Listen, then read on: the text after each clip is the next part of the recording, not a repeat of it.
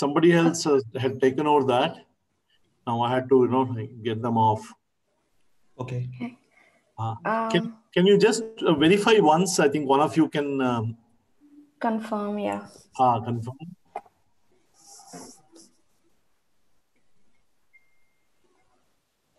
Uh, no, Ravindra, it is still not there. I don't. No, no, it is Came, there. sir. Your YouTube link is came. No problem. Sir, it, There, it is sir. coming now. It's coming. Hello? Uh, just checking, sir. One second.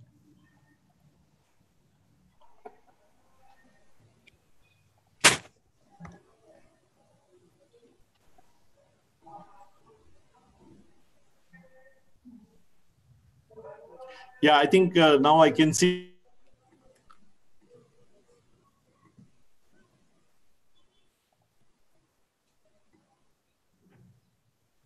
Uh, still not, sir. I don't see it.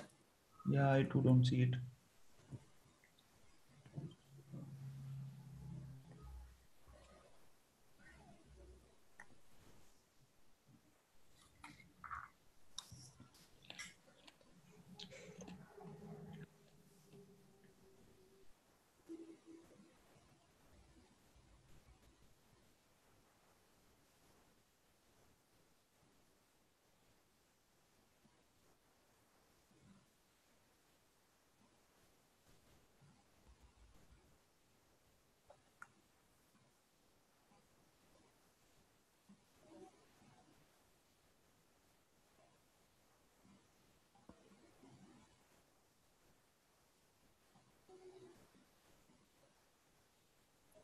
Sir, I'm able to see it. There are some 20 odd people are already there. See it now on the homepage.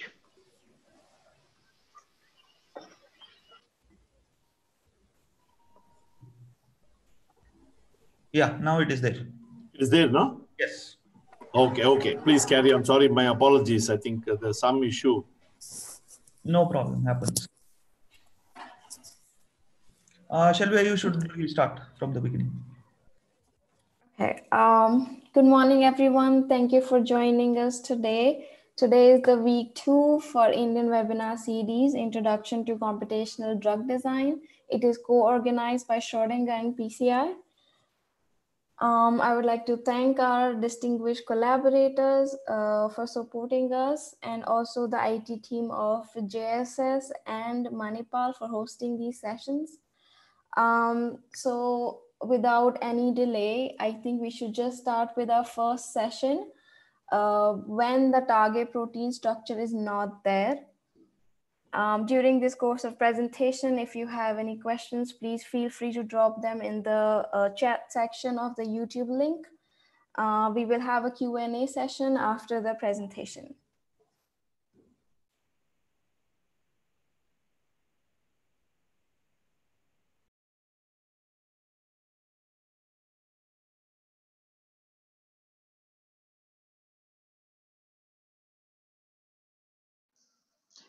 Uh, shall I start, Shelvia? Yes, Dr. Prashad, please Okay, great. Okay, thank you very much. So let me share the screen first. Yep. And here is the full screen mode. And let's see. Uh, yeah, can anybody confirm like uh, it is Yes, visible visible, and audible? audible. Okay, great. So thank you very much, Shelvia. Uh, and thank you very much, all of you, for joining the session. So as uh, today we are discussing about the problem when you don't have structure of protein available with you. So what to do in such case? So in drug discovery, like uh, there can be many various cases and conditions where, where which um, which might obstruct you to perform further research. But again, uh, it is not uh, really the thing. Uh, you will have all tools available with you to work with to resolve your issue. So one of such tool is homology modeling. So what is the thing here uh, whenever you don't have protein structure available with you so in that case you can perform homology modeling for your protein structure and you can proceed further for your drug designing project.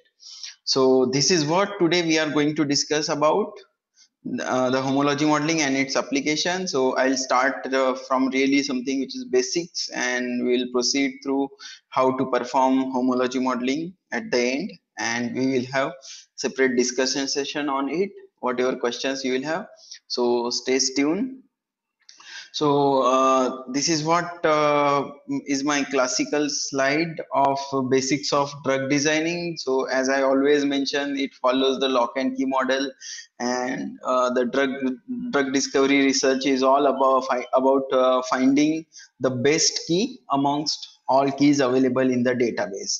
But to perform all those exercise you must know the structure of lock. So there can be condition when the structure of lock is not available. So what what to do in such case? You need to generate a structure of lock. So same thing is applicable in case of protein or your receptor. So whenever you don't have structure of it you, uh, we need to develop that structure so that we proceed for further drug designing studies. So as there are various receptor based or ligand based methods available for you to perform your drug designing research. So we have seen uh, many of such uh, uh, examples of structure based drug designing and in consecutive lectures we will see some ligand based drug designings or higher level of uh, modeling studies like molecular dynamic simulation studies so but here in this uh, presentation i'll be mostly focusing on uh, homology modeling of the protein structure.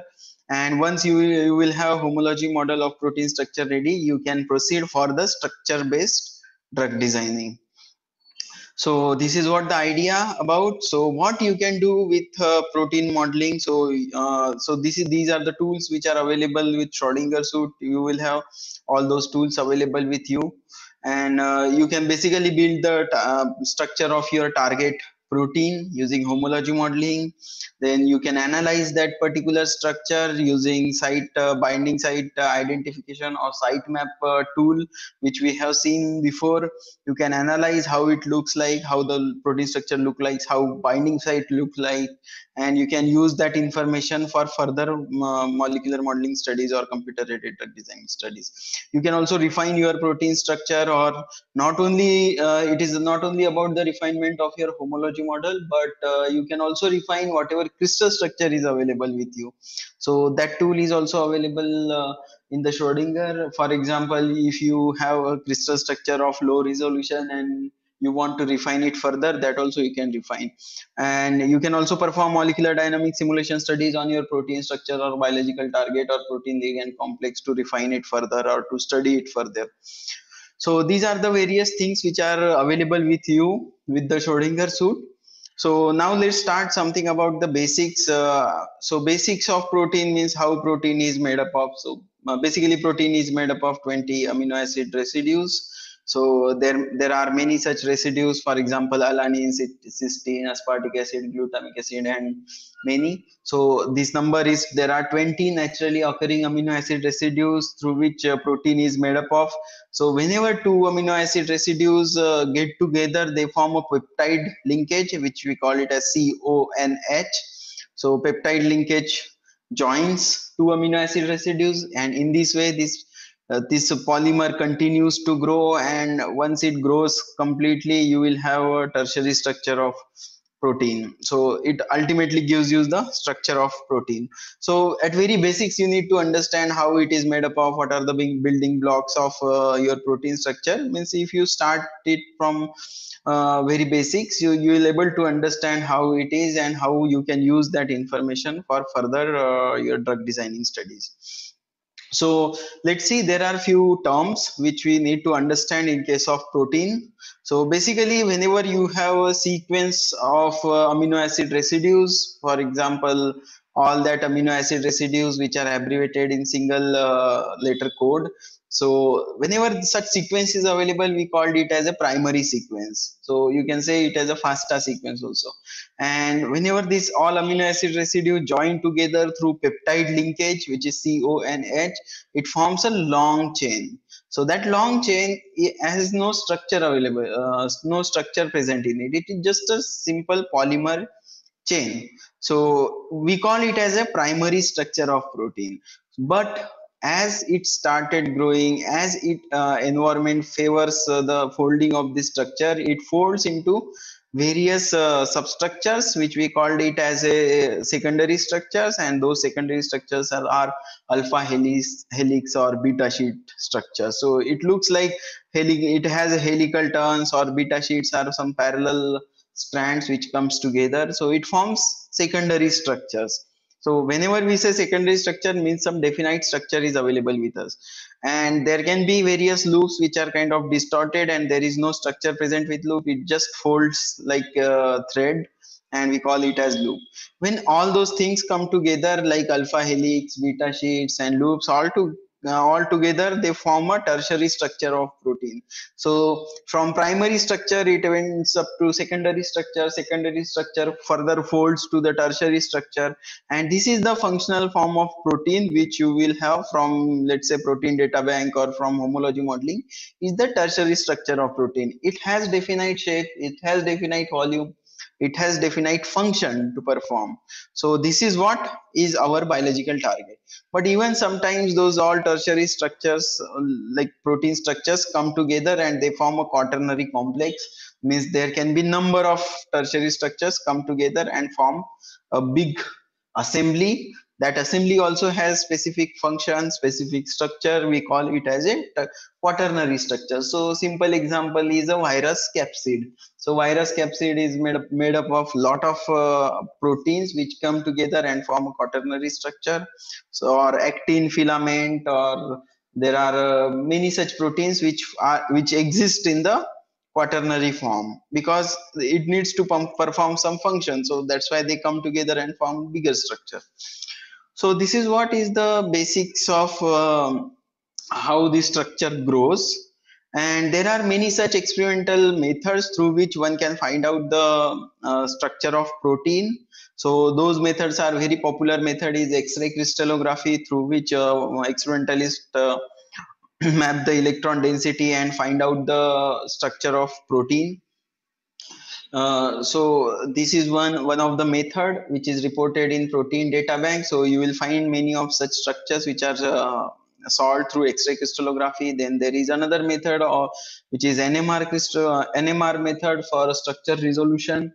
So uh, so basically nmr is because it works only in the solution form. So you will have uh, the protein structure in sol solution form which is highly flexible in nature so there can be various conformations of loops present in the same structure uh, in case of wherever NMR structure is available.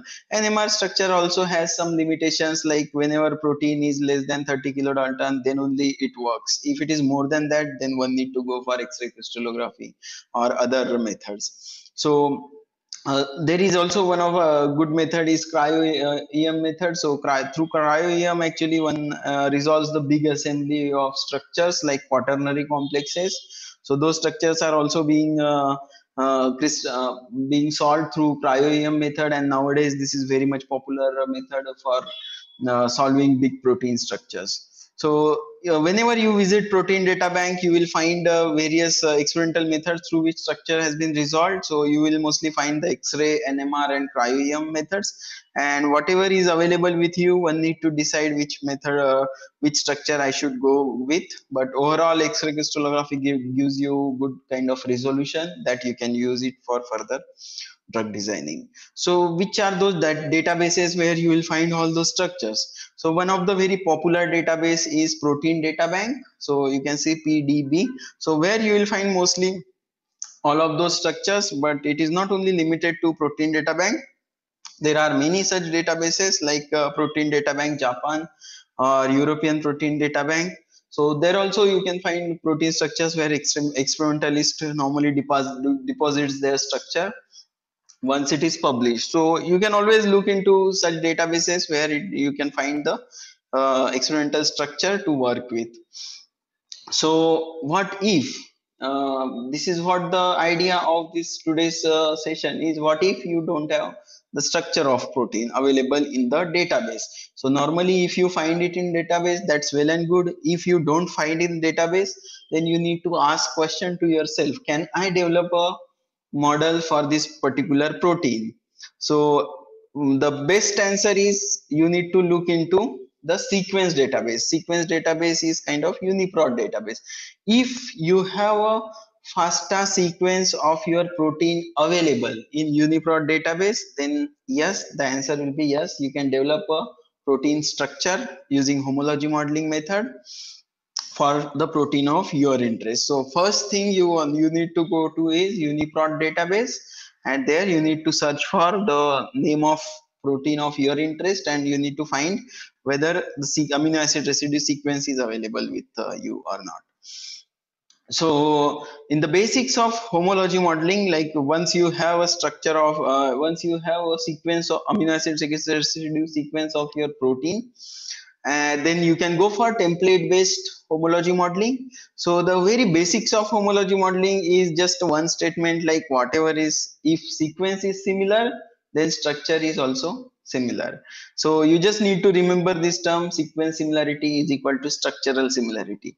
So similarity means whenever similarity comes into picture it always refers to the two uh, different things. Means you need to compare these two things. And what are those two things is the template structure and the target structure. So this target structure means your unknown structure for which you don't have a structure available in any databases. And you need you wanted to build the model for this particular structure. We call it as a target structure which is unknown. And template structure is the structure which is available uh, which is already available in the protein data bank but it is somehow similar to that of your target structure. So you need to basically find out that best template structure available in the structural database. And then as i said if sequences are similar stru uh, structure is also similar. So if you see like sequence is similar in your template structure and your target structure uh, target sequence then of course you can build the homology model of it so you just need to align those uh, sequences to see how similar it is if it is uh, having good similarity then yes you can build the model of your unknown protein structure so that's what we call it as a homology model of the protein sequence. And here you can see whenever we generate a homology model, it almost generate the similar type of model whatever is available in the template structure. So here you can see orange color and green color. So green color is basically your uh, template structure which is already available and you try to build the exact similar structure as that of template structure for your target structure means you for which you wanted to build a homology model out of it. And in this way it it just build the structure as just similar as that of template structure. So there is a there are various steps which you need to follow for doing the homology modeling specifically template based homology modeling. So what are those things? What are the steps you need to follow overall? So you can see it's a simple protocol which i have outlined for doing homology modeling which starts from as i said first thing you need to ask is whether protein sequence is available in the database. So you just need to go to uniprot database and search the protein of your interest and see if you have sequence available amino acid residue sequence available in for this particular protein. If it is available then yes you need to retrieve that sequence. Once you will have that sequence with you there is a method called blastp means you need to find out the suitable template structure for your homology modeling. So for that we run blastp search. This is nothing but the search algorithm to find out the best suitable template structure out of it. And at the end of this uh, search uh, things you will have various parameters to consider. For example how much is the sequence identity and similarity between template and target? How much is the query coverage how whether there are missing residues present in template what is the resolution like if it is x-ray crystal then what is resolution of uh, this particular template structure whether it consists of ligand present in it or not or what is the pdb id of it. So all those things you need to consider before choosing a final uh, template structure which comes out of this blast p search. So once you will have the best template available with you you just need to align those two sequences using the software. And whenever you align those sequences there can be various methods like you want to go for single template alignment or multiple template alignment or secondary structure based alignment. So these are the things which you need to consider uh, while doing target template sequence alignment so once you will have best alignment available with you you just need to go for model building. That's the last step of uh, model building. So even for model building you will have different methods like knowledge based method or energy based method. Or do you want to consider ligands? Means do you want to import whatever ligands present in template structure into the uh, target protein structure? For example if there are cofactors like NADP or ATP so such things you can import inside the homology model. So you can also uh, further build your backbone or side chain amino acid uh, side chains of the amino acid residue. You can add a missing uh, loops or side chains in it. So the or you can generate various chimeras. So these are the things which you can do using homology mod actual homology modeling exercise. So once you will have a model available with you you need to check that model whether it is correct or not whether it is reliable or not.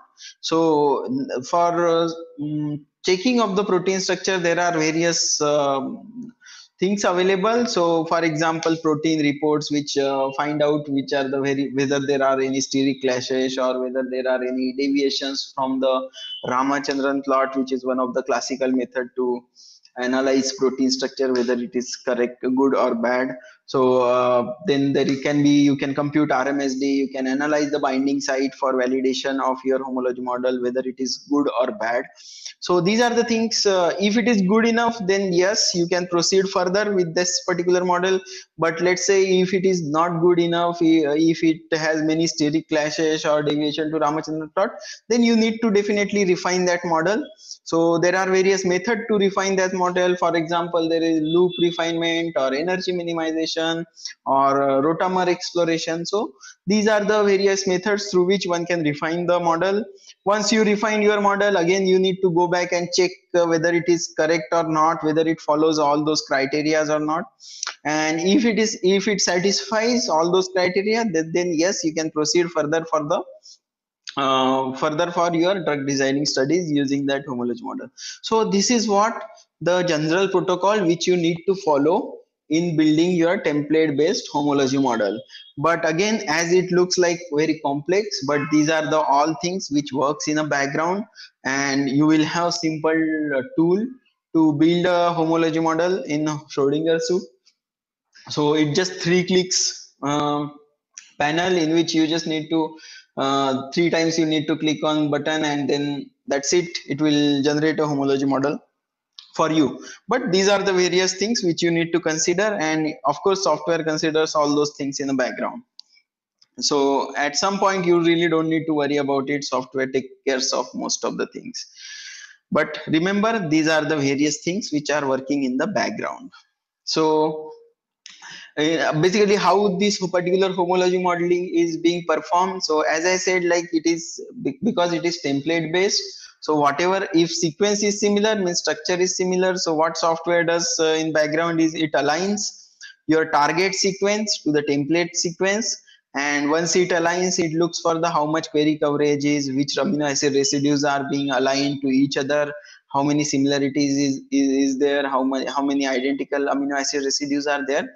And whatever is uh, present in the template structure it tries to copy all those information about amino acid residue sequence in your protein structure. And somehow it builds the your target structure based on the template structure. And here you can see in template structure if you find helix it, in target structure also it will build helix. And uh, in this way if it finds a beta sheet then in target structure also it will generate a beta sheet. Again the complex algorithm works behind it and finally it gives you the similar type of structure as that of template structure and uh, you get once you get that model you need to go for further refinement or validation of this model. And again this is what is the iterative process which one need to follow to build a exact good reliable homology model. So there are some things which you need to consider while building homology model that it requires a good template structure. So because everything is being uh, copied or everything is being uh, learned from the template structure so it should have good template structure that you can get it from the sequence alignment or blast search and those various parameters which we discussed before. You need to consider all those parameters to find out the best template structure out of it. And uh, once you get the template structure you need to align it properly because this alignment is very very crucial. Like based on alignment only it is going to copy all those uh, things which are present in the template structure into the target structure. So that's why alignment is very very cru crucial and one need to take a look at alignment uh, whether it is good or bad. Then uh, very important thing come into picture is the force field. That also you need to consider. You should be dealing with the best force field out of it to which because force field is the one which uh, governs all type of um, interactions bonding parameters non-bonding parameters which interactions are being happened inside the protein structure. All those things are uh, considered through force field only. So that's the reason why you need to consider all those things. So as i said like it requires a good template structure. So template can be first of all it can be a single template uh, which is available for your structure. If it is single template that's very well and good. You if you are not happy with single template you can also go with the multiple template structure or, or you can generate a consensus model out of many uh, various template structure for generating a single model. You can also generate chimeric or composite model out of your protein. For example there is a particular region which is differing in the protein structure. For example here this is the protein structure and this green color domain is only being changed and rest of the things are being same. So in that case also you can generate a chimeric model out of uh, your out of the homology modeling method. You can also generate a dimer or multimers in case of big assemblies or quaternary structures there is a method for gpcr specific modeling because gpcrs are the structures which are transmembrane structure and it needs a specific treatment. So those that specific treatments need to be uh, incorporated in the software and with schrodinger you have that option available for gpcr specific uh, homology modeling and most of the software lacks such option. Then there is a loop modeling which comes under uh, refinement of the structure and you need to perform loop modeling in very nice way to get a reliable model because loops are the distorted structure and one need to take care of it. It is very very critical. But again as i said with schrodinger everything comes handy. Like for each option you will have a single tool which is single click button thing and you, it will take care of everything you just need to decide which model you need to go further with. The next thing comes into the sequence alignment. As i said it is very crucial. So you can see here the sequence alignment of various uh, kinase proteins. And once you align this mini sequence you will find which amino acid residues are differ between two sequence. For example here in the at this particular region there is difference. Though this particular valine residue is conserved amongst all proteins but still in two proteins it differs. So you need to based on that information you need to think which more which template structure i should go further with. Or there can be various regions which are missing in uh, your stru uh, template structure. So that also you need to think of there are various anchor residues. For example in kinase uh, you will have anchor residues like dfg loop which is present in every protein structure. As you see it is well conserved. So it should align to each other. So this this is what alignment means. You need to have that uh, perfect alignment while building your homology model out of it so not only that but you can also have information about which ligand is present inside this particular template structure and what is the biological activity of it. So if you look into biological activity you should go with if you are going for further drug designing studies then it is worth to go with highest active uh, ligand molecule which is present inside it because it represents the bioactive conformation of protein and ligand. So that's why the activity um, biological activity of ligand is also critical in such cases. So once you will have that uh, uh, good template structure and good sequence available with you so next critical thing comes with the force field.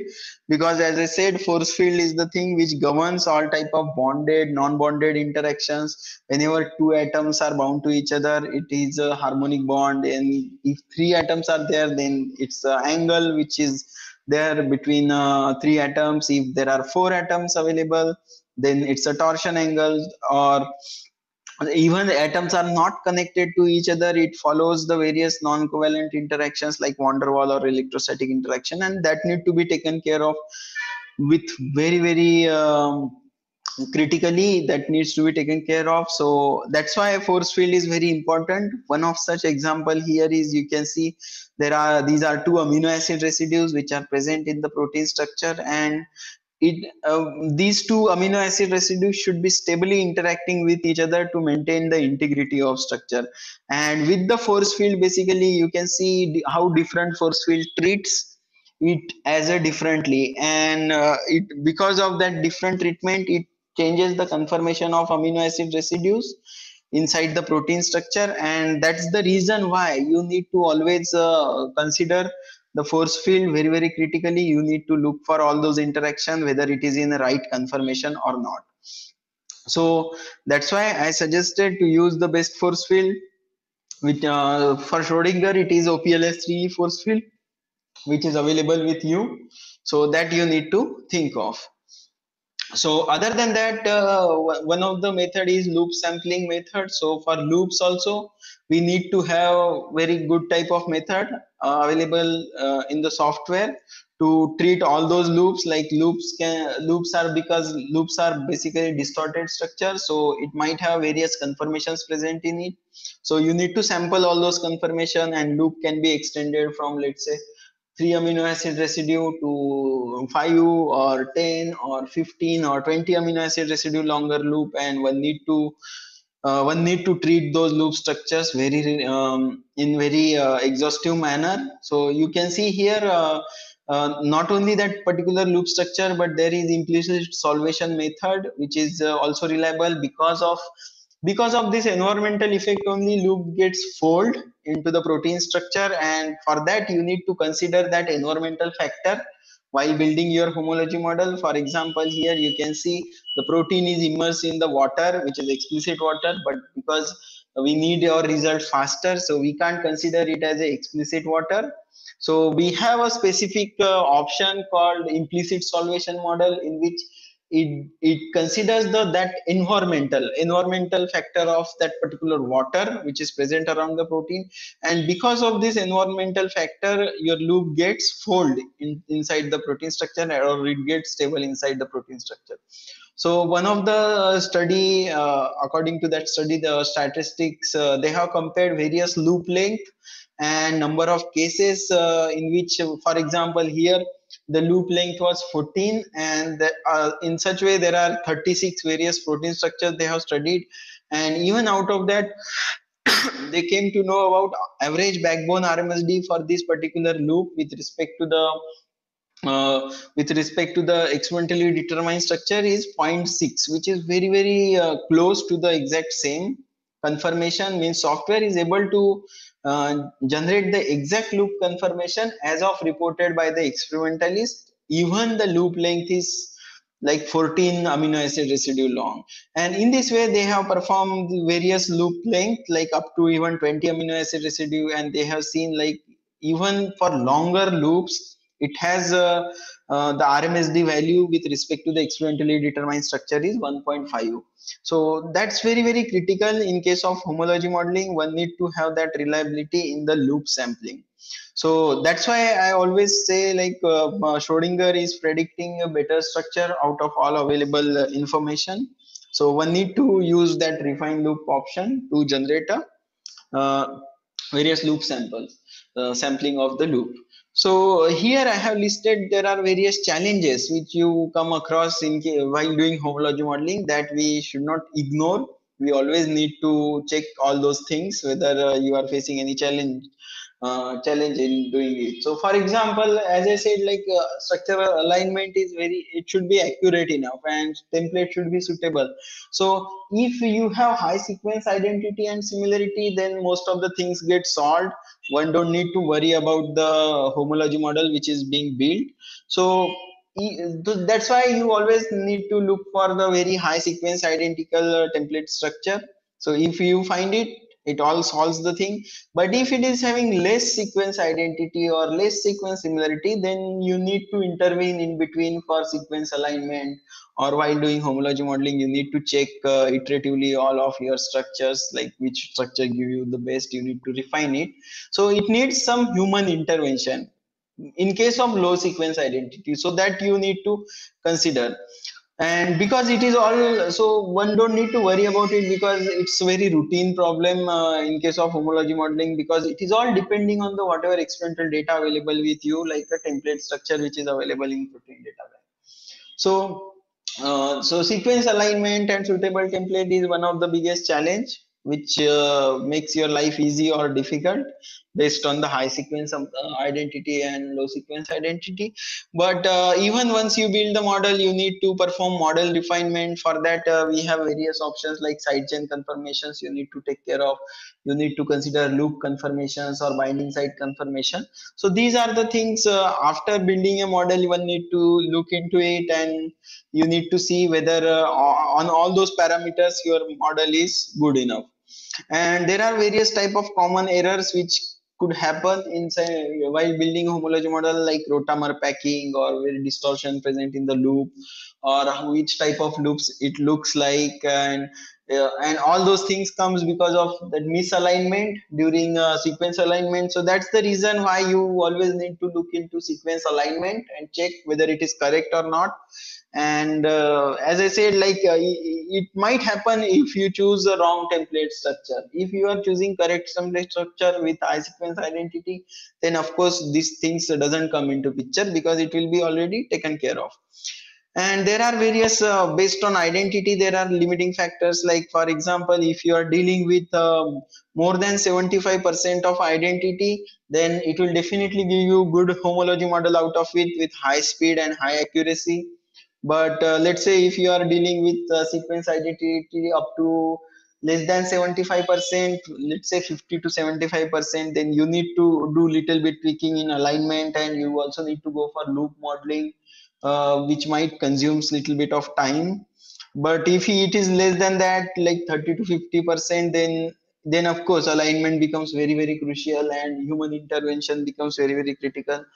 And again like if it is less than 30 then one need to think uh, very very uh, critically that uh, it, whether it is giving me a good model or not you need to check at each and every point and you need to reiterate the same process again and again to get the best homology model out of it so even once you get the homology model out of it uh, there are many such parameters through we, uh, which you need to confirm whether your model is good enough or not but uh, with Schrodinger, as I always say, life becomes easy. So you will have a single click option called protein quality and reliability report through which you can consider all those parameters which you need to consider. For example, Ramachandran plot you can have in just single click. Uh, you can have various type of deviations like bond angle deviation, bond length deviation, steric clashes. All those things you can see it in very handy tool in just single click or uh, even if you want to see all things holistically you will have protein reliability report option in which all those things are being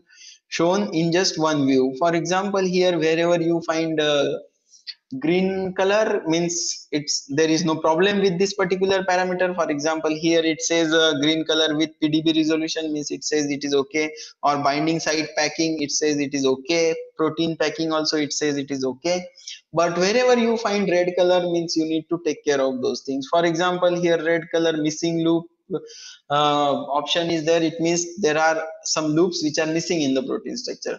As the size of this red color increases means there are some serious problems occurring inside the protein structure. For example here in particular case steric clashes and it's a big circle in red color means there are many steric clashes present in the protein structure that you need to take care of.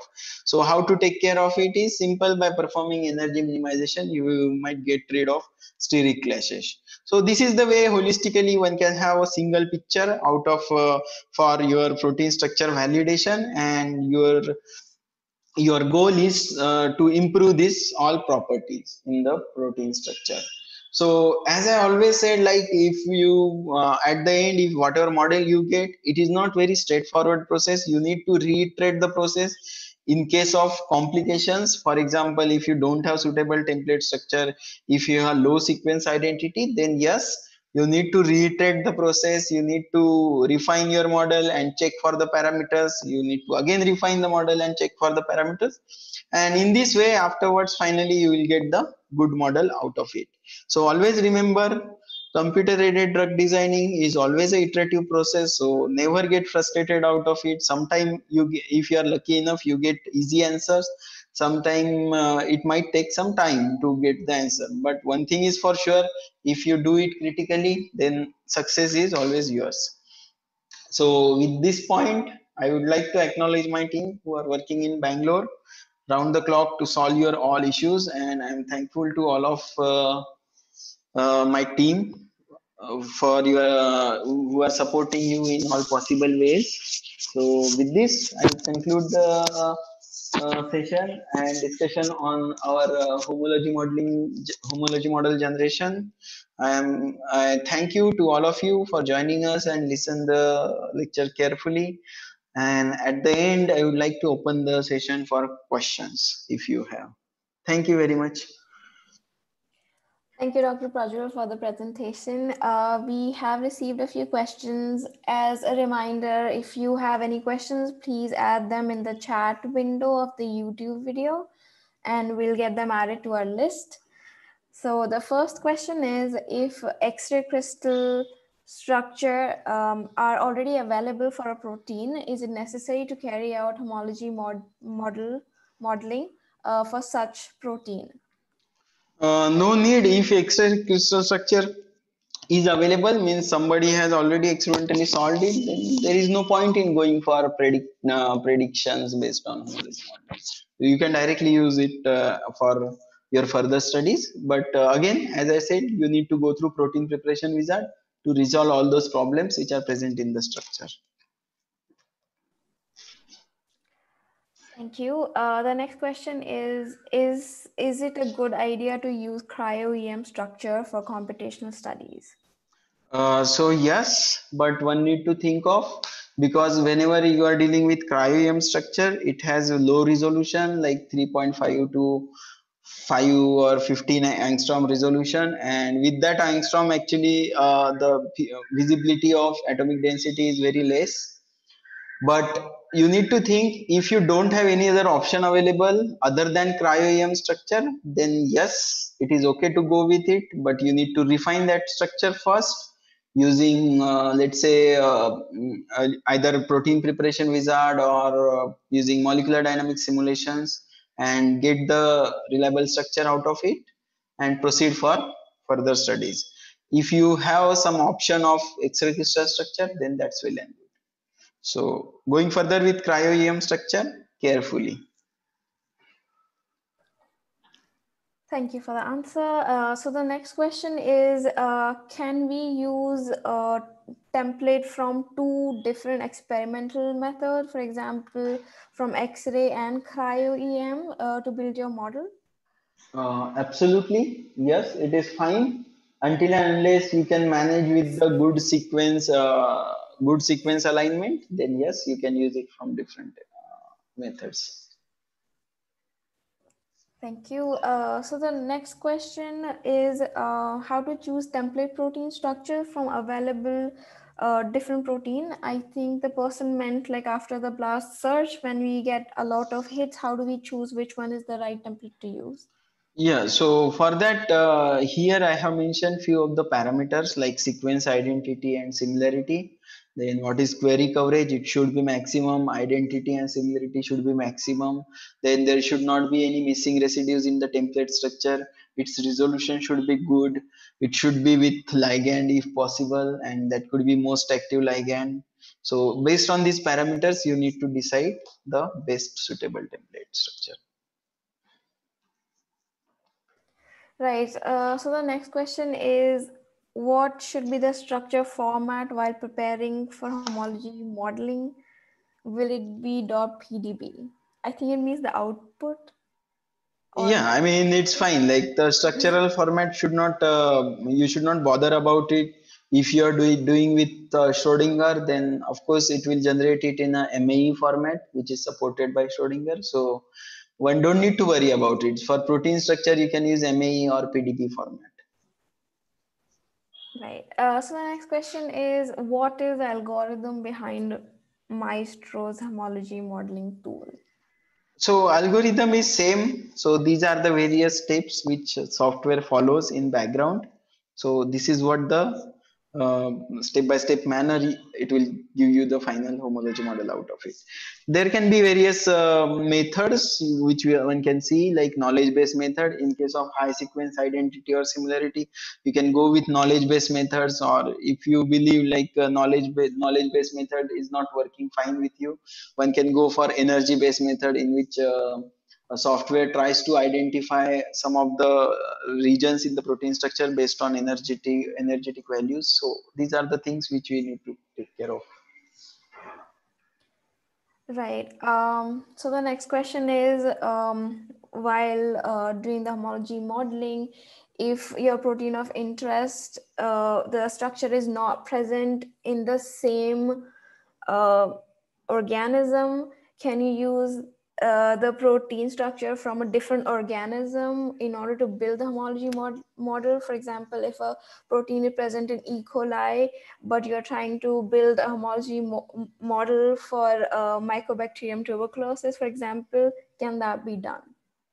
Yes, it is fine. If you get a good sequence uh, identity and good sequence similarity, then yes, it is fine with any other organism structure. Thank you. Uh, so if the sequence similarity is less than 80%, um, how many templates should you use? So uh, the straightforward answer is uh, always remember one thing. If you have option to go for single template alignment or single template modeling, that's the best way. Don't go for multiple template until and unless you have no choice available because whenever multiple templates come into picture complexity increases and reliability decreases. So if you have a single template available and the sequence similarity can be even if it is less than 50 percent and single template is available then also it is okay to go with it. So i would say like 80 percent is very high sequence similarity. So 80 percent like you don't need to worry about so if it is less than 50%, then only you need to think of multiple template homology. Uh, otherwise, no need to even think of it. It's all fine. Thank you. Uh, so the next question is, uh, how do we read Ramachandran plot? So how do we read Ramachandran plot? So uh, the simple thing is uh, Ramachandran plot, you can see here on the bottom left, uh, the, uh, it is divided into various uh, regions like red color is the most allowed region. Then uh, yellow color region is the allowed region and white color region is disallowed region. So these dots, if you see this dot represents each amino acid residue backbone torsions. So your this dot should not fall in white color region because it is disallowed region. So you would need to get all those dots inside red color or yellow color region. So this is what the best way to read it. But uh, at any given point if you want to read more about it so simply type ramachandran plot in google and you'll get the first link from wikipedia where uh, it is all explained in details Thank you. Uh, so the next question is, if we have an apo structure, should we opt for homology modeling? So if you have apo structure, then structure is there. You can proceed further uh, for further studies like all uh, molecular docking or induced fit docking. So if structure is available, then no need to go for homology modeling. Right. Uh, so the next question is, um, okay, I'm reading it as it is. Um, is there any database available to do Ramachandran plot? So I think question you need to tweak little bit, but uh, you don't need to worry about it. Like it's just a single click, and there is no database for Ramachandran plot. It generates based on the whatever structure available with you. So with Schrodinger, you will have a simple tool to generate it. It's just a single click uh, option. Right. Uh, so the next question is while doing the homology modeling conventionally after multiple sequence alignment, we have to build a PSM profile. Does Schrodinger also do that? What is meant by PSM? I have no idea. So if uh, Surbi, you could just explain that to us. So- I have a feeling it's from some other software. Position specific matrix. Okay, so uh, it's not only about PSM, but there are ma- a number of factors which are available. Uh, as uh, with respect to various softwares, every software has different ways to analyze it. Uh, so, I mean, whatever is available with Schrodinger, those are the essential things which you will have. But it is uh, again not limited. You go to any other software, any other web server, you will find some other parameters. But at the end, uh, what is take-home message? Take-home message is uh, you need to fall within the limit you need to have all things in allowed allowed uh, regions so uh, there can be z score there can be red plot there can be psm there can be prosa so there are many such things which are available so if you again uh, with homology modeling you always need to think if your model is well well good like it all fo- follows the ramachandran plot and steric clashes and this protein reliability report parameters then everything will be uh, taken care of. So you don't need to look for hundreds of such parameters at the end. It is all being covered Right. So the next question is Is there a database available where you can get uh, homology model proteins? yeah there are databases available like swissprot database where people used to deposit the homology model of protein if it is available uh, but again uh, whatever homology model is it is all predicted structure only they can be false positives or uh, true negatives type of model whatever you get it from such databases you need to revalidate it so that's the best possible way so if you get such model, get it, but don't believe it blindly. Well, revalidate it. If it is good enough for you, then only proceed further. But there are databases available. Uh, so the next question is um, How many templates can be used to generate a model? So I think it means like the upper limit, maybe. so there is nothing like upper limit. It's all up to you how many mo- uh, templates you want to use. But my suggestion is always there. Try to use as less as possible templates. If it is single template, that's the best scenario. If it is two template or three template, it's fine. If it is more than that, the reliability will be very very low. But you can use hundreds of template if you want. Um, can you please tell us the need of blast analysis and is that available using Schrodinger suites? Yes, it is available with Schrodinger suite. So BLAST is nothing but the method to find out best template based on sequence identity or similarity. It's one of the method of alignment of two sequences. So it is available with Schrodinger suite. Right. Uh, so the next question is uh, when we do a two template based modeling, what is the importance of RMSD with respect to template in such case? Um, is there a possibility that the model can have a confirmation in between them?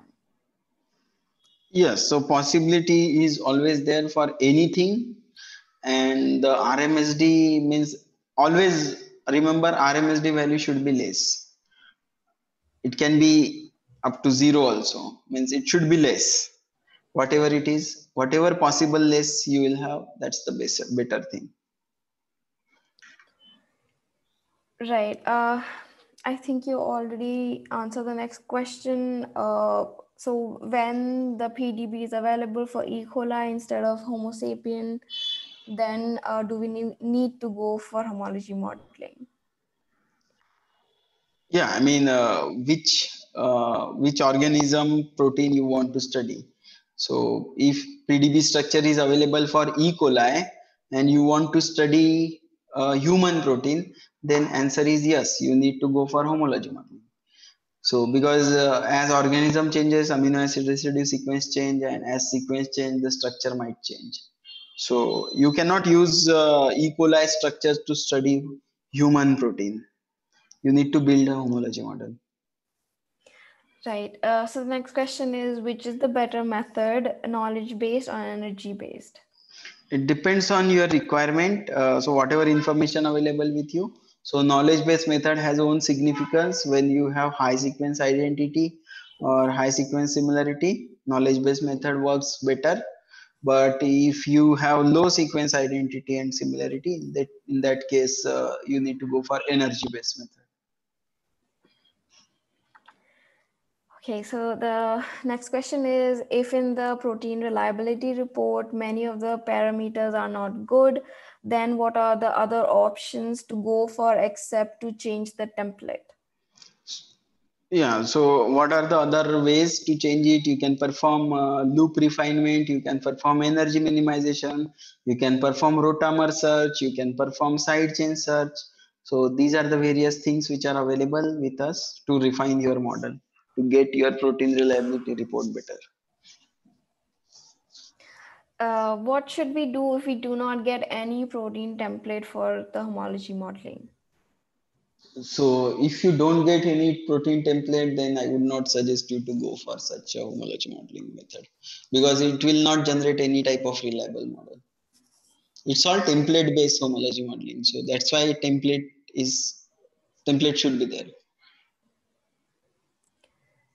Right. Um, what is forbidden region in Ramachandran plot? So, I mean, there are a few uh, regions which are, uh, for example, uh, uh, you can see amino acid residues like prolines and glycines. So those are the amino acid residues are kind of exceptions to the Ramachandran plot. So they can fall within a disallowed and there should not be any worry out of it. So it will be fine. Right. Uh,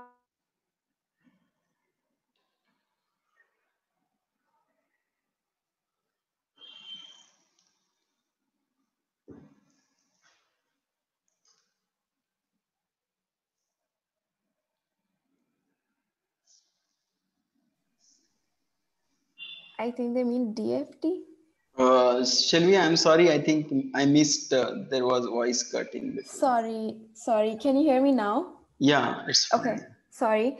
Um, so the question is: Is uh, the uh, density factor calculation compulsory for a molecule in in silico study? I think they mean DFT calculation. Maybe I'm not sure. Okay. Um, okay. Just move on.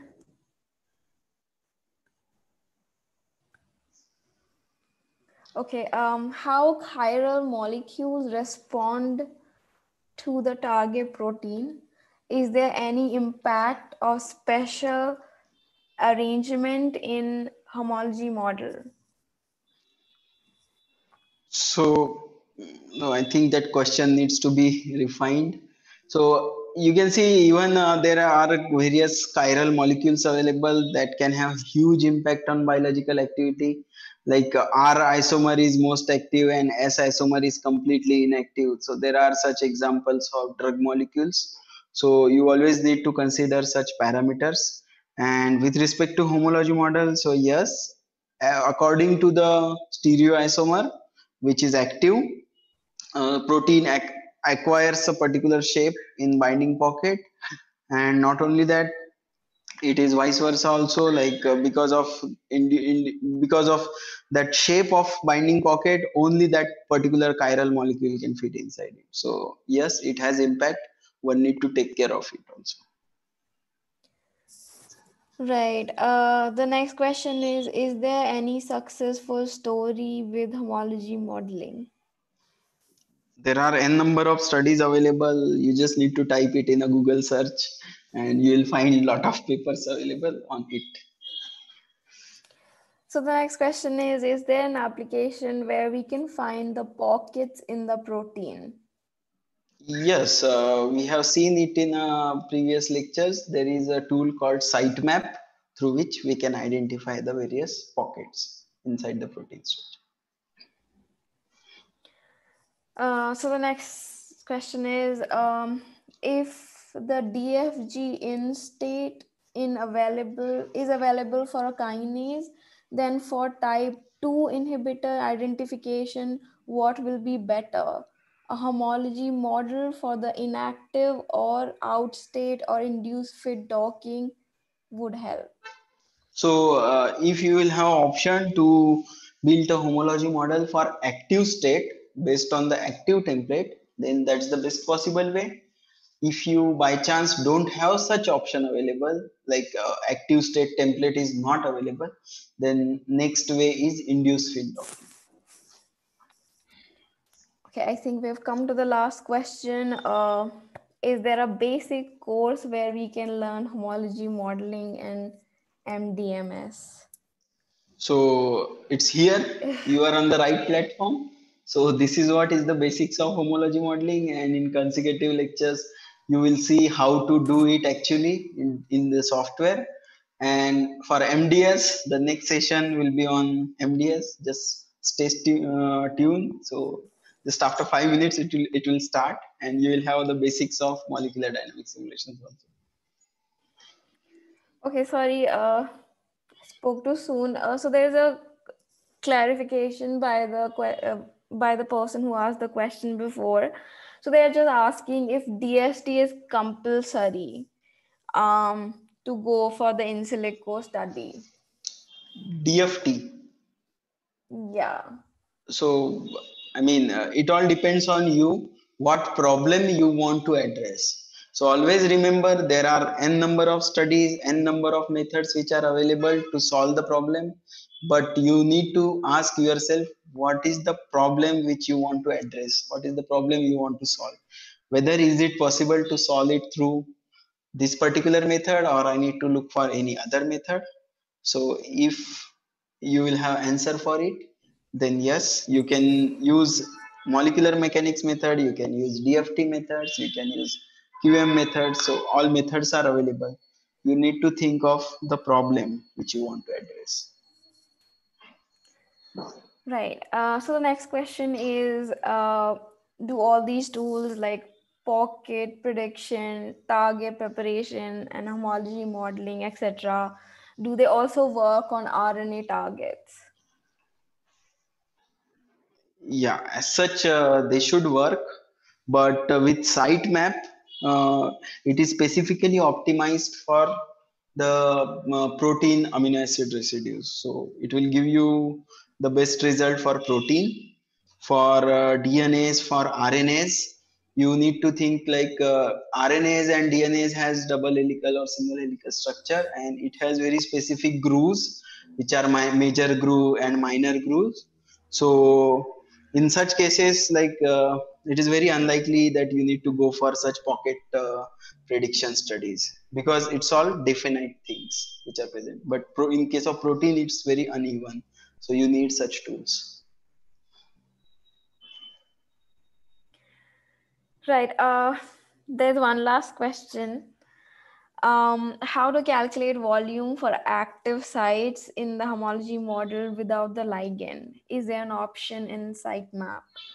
Yes, you just need to open the sitemap and run it. It will give you all those parameters like size, volume, other parameters. It's all there.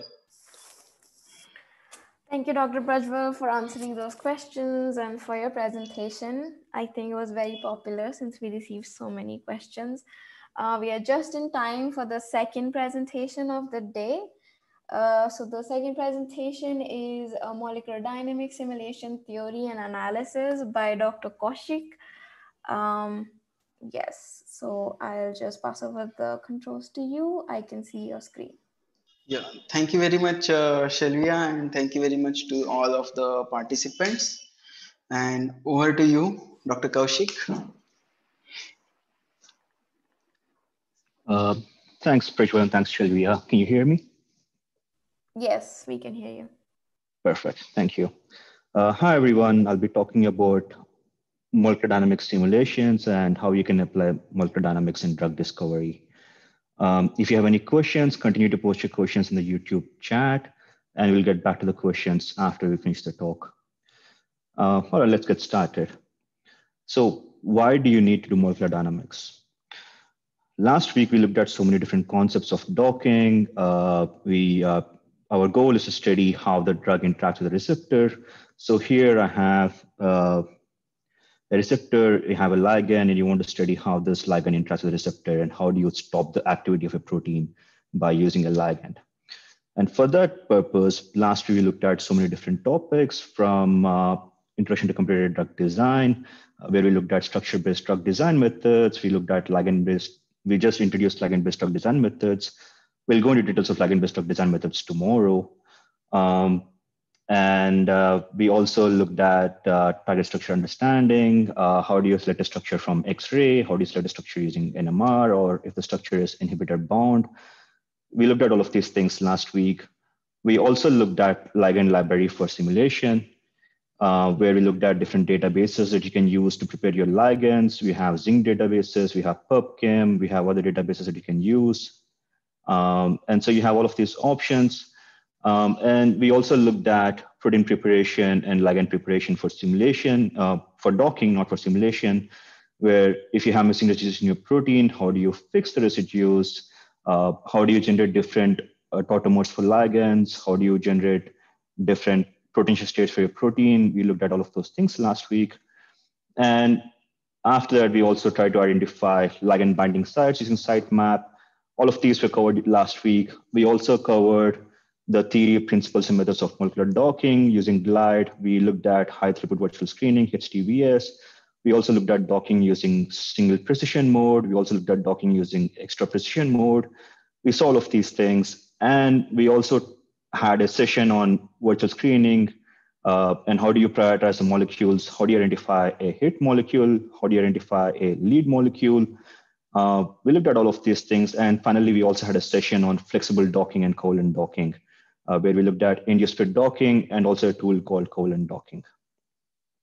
So after last week's sessions and also with today's session on homology modeling in the morning, uh, probably all of you are confident of doing how to do docking. So if you know how to do docking, then why do you need to do molecular dynamics? Well, docking, when you do docking, if you see this particular video here, uh, if you look at this, the protein is, is fixed and you only change the ligand. However, in reality, everything is moving.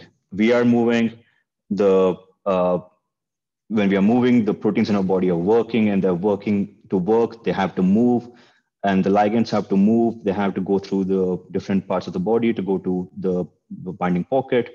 And so you, everything is moving all the time. And so if you have a rigid receptor like here it's not an accurate representation of what is happening in our body at all times and for that reason you always have to include some sort of dynamics in your in your calculations and since docking does not do it last week we also covered induced fit docking so just to recap again, docking is, is uh, very simple. The protein is rigid, only the ligand is moving.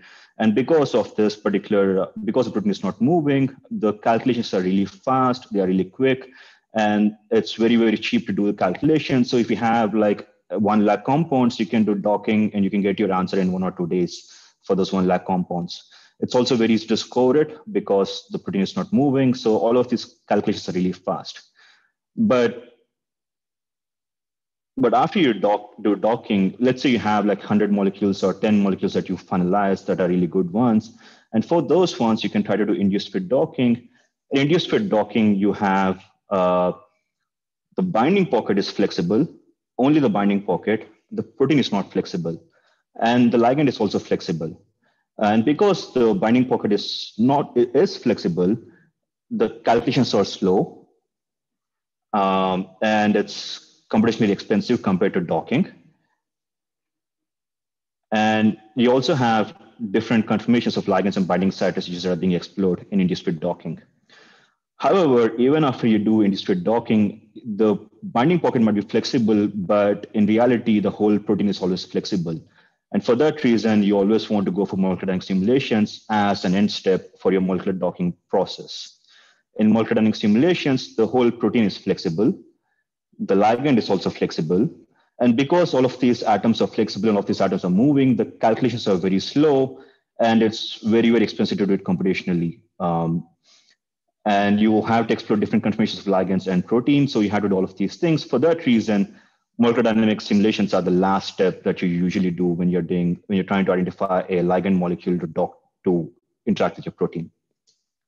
So just to recap, docking is fast and uh, simple. Induced fit docking is has slightly more flexibility. It's computationally slightly more expensive, but MD simulations are the gold standard for evaluating your your ligand poses. So just to add to that, uh, what you can do in MD simulations is that you can try to understand the stability of a drug binding. In docking, you know that the ligand interacts with the protein, but you don't know how well the ligand interacts with the protein. So for example, if you look at this video, if it's an MD simulation of a protein, which is shown as a surface representation in white, gray color, and the ligand is shown in orange here, and the ligand is interacting with the protein, and you can see that in this particular video, if this ligand is present in the binding pocket, it is not leaving the binding pocket, then it indicates that the drug is stable. And because it is a really uh, expensive method, you only want to do MD simulations for like 10 ligands or 20 ligands. You don't want to do it for one lakh compounds. And so you have to initially get your number of molecules from one lakh to uh, 10 or 20 using docking or induced docking. And after you have those two, uh, narrow it down to 10, 20 molecules, then you can do MD simulations. And uh, MD simulation is also useful for uh, identifying ligands uh, with similar docking scores. So you can differentiate between ligands that have similar docking scores. So let's say you do docking using uh, Glide, and then you get like four different uh, ligands that have similar binding scores, like minus 11 to minus 10. You don't know which one of these is, is the best one. They're all in the same range. Uh, Glide is going to tell you that it's minus 11 is the best one, but you can only be confident of your answer only after you do multidynamic simulations.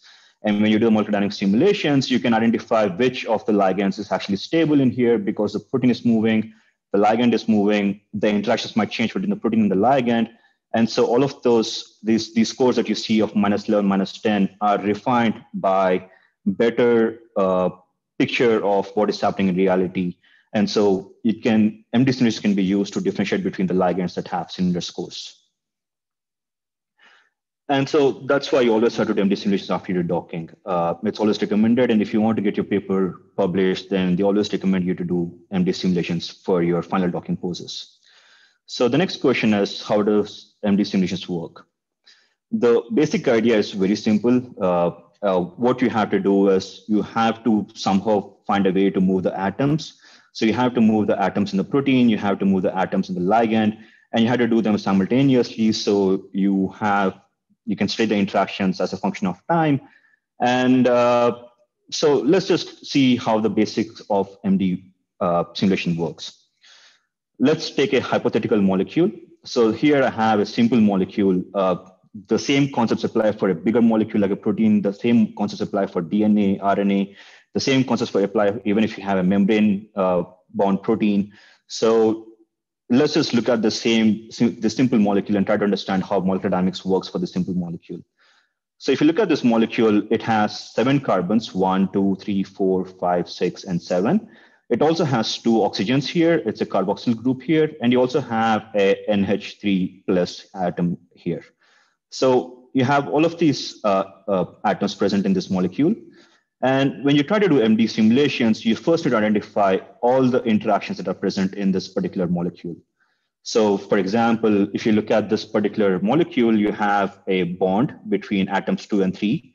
You also have a bond between atoms one and two. You have a bond between three and four, four and five, five and seven, five and six, seven and oxygen, this one, seven and oxygen minus, three and nitrogen here. So all of these bonds are, uh, for all of these bonds, you have a simple equation which looks like this. You don't have to memorize these equations. All of these things are taken care of the software. I'm just introducing the concepts here so that you're aware of it. So you have all of these bonds, which are like uh, six of them plus two plus one, nine total bonds. And so for, for each of these bonds, you have different parameters that you can have. All of these things are already built into the software. You don't have to worry about it. You just use this and you try to uh, check this, uh, calculate the bond energy for each of these bonds. Once you find the bond energies, the next thing that you have to calculate is the angles. So angles are defined for every three atoms. And so you have an angle between one, two, and three. You have an angle between two, three, and four, three, four, and five, and so on. And you get the basic gist of it. And so for all of these angles, you also calculate the energy for each of these angles. And the calculation is based on this equation. Again, you don't have to memorize it. It's good to be aware of it. Um, and you don't need to know it uh, if you have to do simulations. And the next thing that you can also, that is also being calculated is if you have four atoms, like you have one, two, three, and four. And so here I have a simple molecule, butane. And if you remember from your intermediate chemistry, uh, you remember that uh, butane has different conformations. You can have a trans conformation, you can have a cis conformation. The cis conformation is less stable compared to the trans conformation.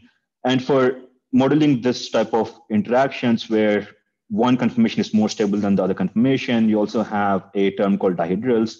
And there's the formula for calculating the dihedral energy. And you don't have to memorize this thing again. And these things are taken care of the software. I'm just introducing concepts here again. And so it's not just done for these four atoms. You also do it for two, three, four, five. You do it for three, four, five, six. You do it for all of these atoms that have an interaction like nitrogen, three, four, and five, three, four, five, and seven. You can do all of these calculations. But if you look at this particular molecule here, you also have a few interactions that are non-bonded. So for example, there is no bond between nitrogen and oxygen here.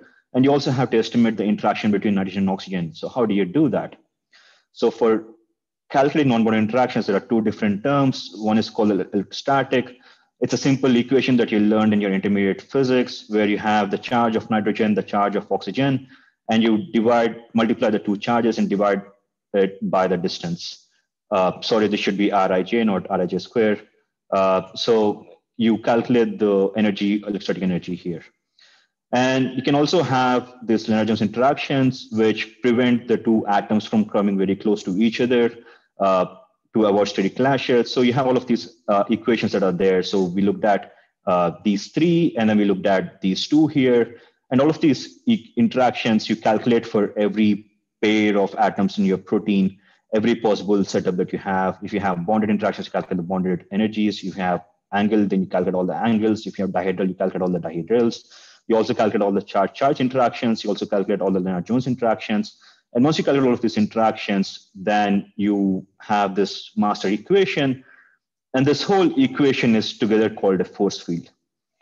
Again, let me emphasize this. You don't have to know all of these equations. You just have to know that all of these things contribute to the force field.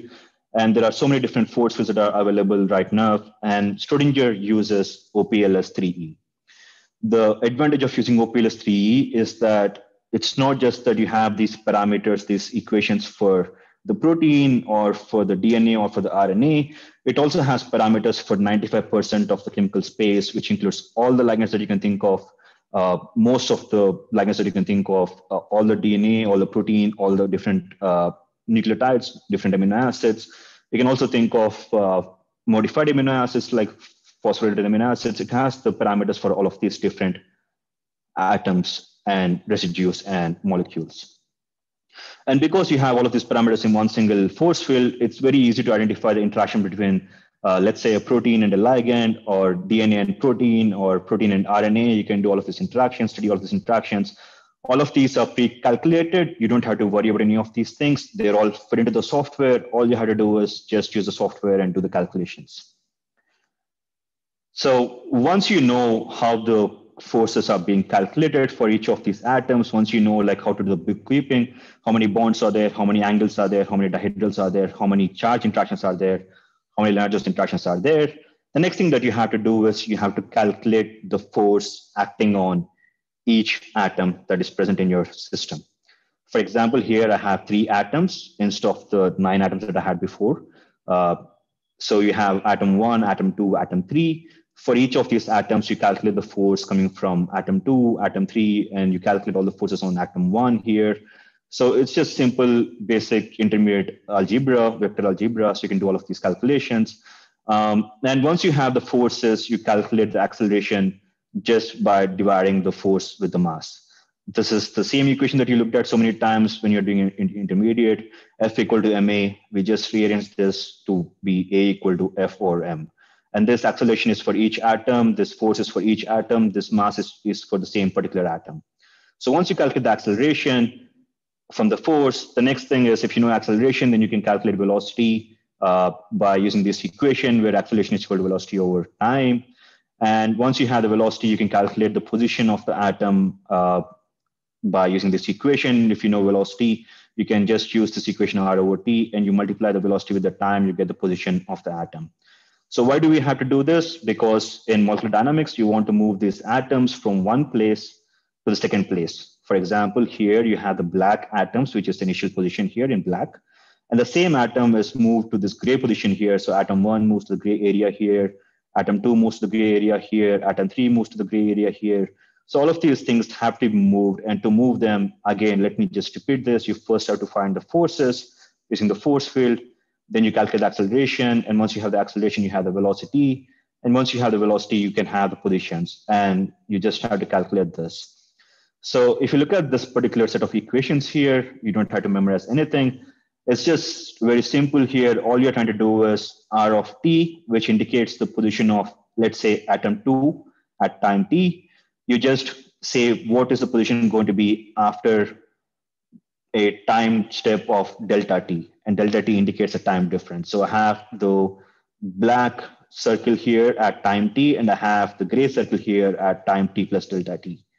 And R is just like a combination of the change in x direction, the change in y direction, the change in z direction. And you just add these smoothest atoms for a small time step. And the time step is typically one to five femtoseconds, depending on your uh, different ways of calculating it you don't have to worry about any of these things. You just have to, if it's good to be aware of them, you don't have to memorize it. The software does all of these calculations in, in the background. Um, the only thing that you have to worry about is how many times do you have to run this calculation? So if you have one femtosecond, then if you want to do one picosecond calculations, simulations, then you have to do this, repeat this calculation thousand times. If you have to run it for one nanosecond, then you have to repeat this calculation a million times, like that is 10 lakh times. And if you want to do this calculation for a microsecond, then you have to do it for 100 crore uh, times. And because you have to do it for 10 lakh times or 100 crore times, this method is computationally very expensive compared to the other methods.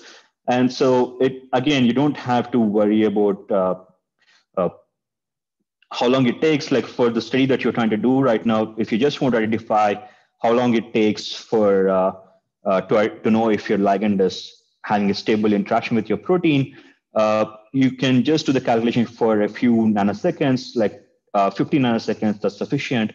And depending on, if you look at this chart, there are different things that you can study in different time scales. If you want to look at the bond vibrations, that is each individual bond length, then you have to do the stimulation for a few femtoseconds. If you want to look at side chain uh, rotamers, then you have to do the calculation for a few picoseconds. Um, to nanoseconds. And if you want to look at large scale loop motion where your loop is changing, then you have to do the calculation for a few nanoseconds to a few microseconds. Um, and if you want to look at ligand binding and unbinding, that is, you don't know where the ligand is, you have the ligand in, in, in outside the protein. And if you want to understand how the ligand goes into the protein, then you have to do the calculation for microseconds to milliseconds. But in your case, you already know that the ligand is docked inside the protein, and all you're trying to do is try to under, understand the stability of the ligand of the protein. And for that, you can all you have to do is do simulations for 50 nanoseconds or 100 nanoseconds, and it might think you might think that you know if you have to do it for 50 nanoseconds, then you have to do the calculation 50 lakh times which is a lot of times. But with GPUs these days, you can easily do calculations of 100 nanoseconds per day on a standard size protein. So if you have to do for 50 nanoseconds, then all you need to do is you have one GPU and you can do the simulation for half a day and you'll get, you can identify if your ligand is, has a stable interaction with the protein or not. So it is really easy to do this. So just to recap, all you have to do is, you know, use the software. The software is going to calculate the forces for you in your protein and ligand. It's also going to move the atoms for you. And all you have to do is just tell the simulate software how long you have to do the calculation for. So let's look at how you can use Schrodinger to do the MD simulations. Uh, you can use different softwares to do it, but using Schrodinger, it's very, very easy to do the calculations for, to set MD simulations. Uh, you first have to uh, get your protein from the PDB. Uh, and once you have your protein, uh, you use the protein preparation wizard, which we looked at last week. Uh, and we are also going to have demo sessions next week on how to do these calculations. And you just have to make sure that your protein is complete. It has all the hydrogens. It has every missing residue is covered. You don't have any missing residues in your loop. Uh, the side chains are in optimal position. You prepare your protein. Once you prepare your protein, you have to build a system for doing the simulations. And it is easy to do it. I'll go into details in the next few slides. Uh, where you can set up your membrane if you have a membrane. You can set up your water if you have water. Um, and you can set up, uh, I can add ions to your system. You can do all of these things in System Builder. And once you do the system building, then you go to MD simulation, where you do the simulation um, here and you have the protein moving, you have the ligand moving, you can study the interaction between the two of them. And once you do the simulation, you can analyze your simulation. And all of these things are single clicks. It's very easy to do it using Schrodinger. I'll just show them in a few slides, in the next few slides, how easy to it is to do the simulation and also how easy it is to do the analysis of the simulation. And there's just a brief workflow of how you can do MD simulation Schrodinger. So let's just look at how to do the system builder uh, in the next slide. So Desmond is the molecular package for doing the MD simulations in Schrodinger. It is the fastest MD engine compared to other softwares. So AIMBER, GROMACS are slower compared to Desmond. And it's if you look at this particular interface, it's all mouse clicks. You don't have to do any any commands. You don't have to type any uh, any commands. It's just you just click on different things. It's very easy to build your system. And if you look at this particular uh, image here, I have the protein which I'm showing you in cartoon representation here. There's a ligand which is not so clearly visible. Uh, you have these red dots here. These red dots are all water molecules why do you need to have water molecules? You need to have water molecules because most of our body is 70% water. So you have to be as close to reality as possible. So you want to have all of that water. So which is indicated here in a box. And you can also add ions. So it's very easy to build it. All you have to do is just click on these different options that you have. Uh, for example, if you want to choose different water models, you have different water models here. You have SPC, T3P, T4P. You also have octanol or methanol if you want to have co-solvents in your uh, system. You can add all of these things. It's very easy to choose it. All you have to do is just click on this box here and just drop down and look at these different uh, options that you have. And once you select your water model, uh, you can also use water models outside these things with external scripts, which you don't have to worry about. It's just easy to use this, these options here. TIP3P is a good model to start with. You can also use TIP4P EW, um, and you you just need, you can use any one of these water models for you to have a decent uh, simulation. Once you select the water model, the next thing that you have to do is you define uh, what type of box you want. Do you want a box that is cube-like? Do you want a box that is different shaped? Uh, you can set your box dimensions here. You can set a buffer. You can do all of these things. It's all mouse clicks. It's very easy to set up. And it's also very easy to choose the box dimensions. Once you do both of these things, you can also set up a membrane if you have a membrane protein like GPCR, which is transmembrane protein. For example, all you have to do is just click on this option here and you can set up different types of membranes like POPC um, or different membranes. If you look at this image here, this is water, you have the protein here, and you have a membrane in gray, which is shown here. You can set up all of these things with just simple mouse clicks. And once you set up your membrane, if you have a membrane protein, um, then you can also add ions to your system. It's very easy to add ions. It automatically adds ions uh, depending on the charge of your protein. Um, you have all of these options to add salt as well. So all of these things are mouse clicks. You don't have to worry about uh, setting up through command line. It's just very easy to use it. Click, click, click. And like with three or four clicks, you can set up your whole system. And once you set up your system, the next thing you have to do is you have to start the simulation. And to start the simulation, there are a few things that you have to consider. It's again very, very easy to start the simulation using Schrodinger. Uh, the first thing you have to do is you have to load your molecule um, that is there. So here you can see that you know it tells you how many number of atoms you have in your system. You have to move all of those atoms. You have to identify how long you have to move the atoms for. So you can move them for 10 nanoseconds, or you can move them for 100 nanoseconds. You can move them for a few picoseconds too, depending on what you're trying to study. Um, and setting time is just like you just have to enter your time. It just does the calculation here automatically. So it's very easy to do that. And once you set up your uh, time, the next thing you have to do is choose an ensemble. Again, these are all different options that are there. You don't have to worry about these different options. Just use the default options and you're uh, good to go. But if you want to have more control, you can you have these different ensembles that are supported. You have a NVE ensemble, which is normal volume and energy. Um, NVT ensemble is normal volume and temperature. NPT is normal pressure and temperature. Uh, these two options are useful if you have a protein in uh, solvent and ligand in solvent. Uh, if you have a membrane protein, then you might want to use NPAT. A stands for area, or NP gamma T, where gamma stands for surface tension. If you have membranes, then you want to use these two ensembles. If you have, if you do not have a membrane, then you can just use these two. And all of these things are default options. Uh, just use NPT uh, and you're good to go. So once you do that, you also have a few advanced options where you can choose a thermostat or a barostat. Why do you want to have different temperatures? Well, most of us exist at uh, the human body is usually at uh, 298 Kelvin or 300 Kelvin, or 30 centigrade centigrade, uh, and that's a normal temperature. Uh, but there are some bacteria that exist at uh, really high temperatures, like 80 degrees centigrade. You can try to set the temperature using these advanced options. You can also try to choose different thermostat and barostat uh, like Nosé-Hoover thermostat or Langevin thermostat. There are different options that you can choose. You don't have to know any of these things. Uh, the default options work well, and it's just for people who want to be aware of these different options that you have that I'm telling you these options. So just to recap, we looked at how to build a system, how to add ions, how to add water, how to add membrane, and how to choose that time that you want the simulation for, which ensemble that you want to use, and how do you do different uh, sim uh, set up different thermostats or barostats and all of these options. So once you start your simulation, the next thing you have to do is you have to look at the trajectory. So here I have the protein, I have a ligand here, I have these different water molecules here that is shown here. And you can see that in this particular video, all of these atoms are moving, the protein is moving, the ligand is moving, the water molecules are moving. And here I just remove the water molecules. You can look at this particular interaction of the ligand with the protein. You can also like zoom into the interactions. You can look at exactly what is happening to the ligand and how it is interacting with the protein. You can see this uh, ligand atoms moving here. You can see the dashed yellow lines, which indicate the interaction with the protein. You have all of these things that you can look at. You can zoom out a bit. You can look at the interactions between the ligand and the amino acids here in more detail. See here, you can see the interactions with, with, with leucine, lysine. You can, when the ligand, you can see all of these interactions. And so all of these things can be done using a MD simulation. Just to show you the video again. So you start with your uh, protein and ligand in a water box, you do your simulation. And as simulation is proceeding, you can look at the different interactions between the ligand and the protein.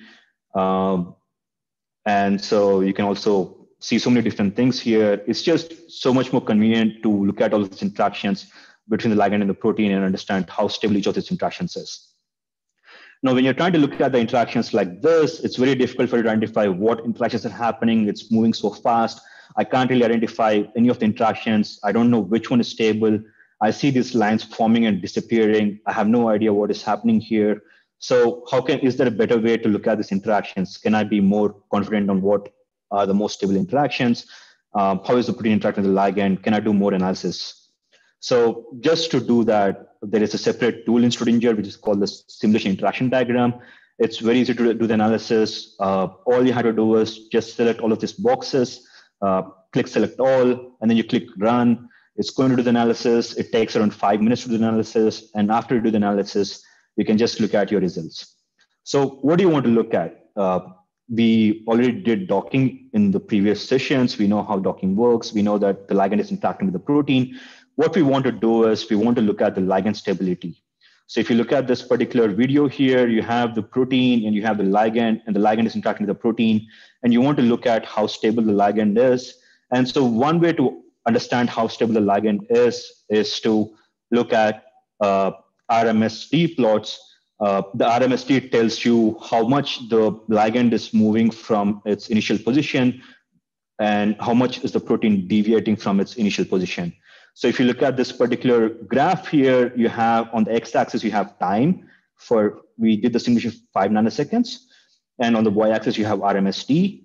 Um, in blue, you have the protein RMSD. The protein is moving. Uh, you can see that the RMSD is changing through the as simulation is going on, which indicates that the protein is moving. And if you look at the red one, which is the ligand RMSD, you can see that the ligand RMSD is less than two angstrom for the entirety of the simulation. This indicates that the ligand is stable inside the binding pocket of the protein. So you did your docking, you're trying to do simulation, and the ligand is not leaving the binding pocket. This indicates that it's a strong interaction with the protein.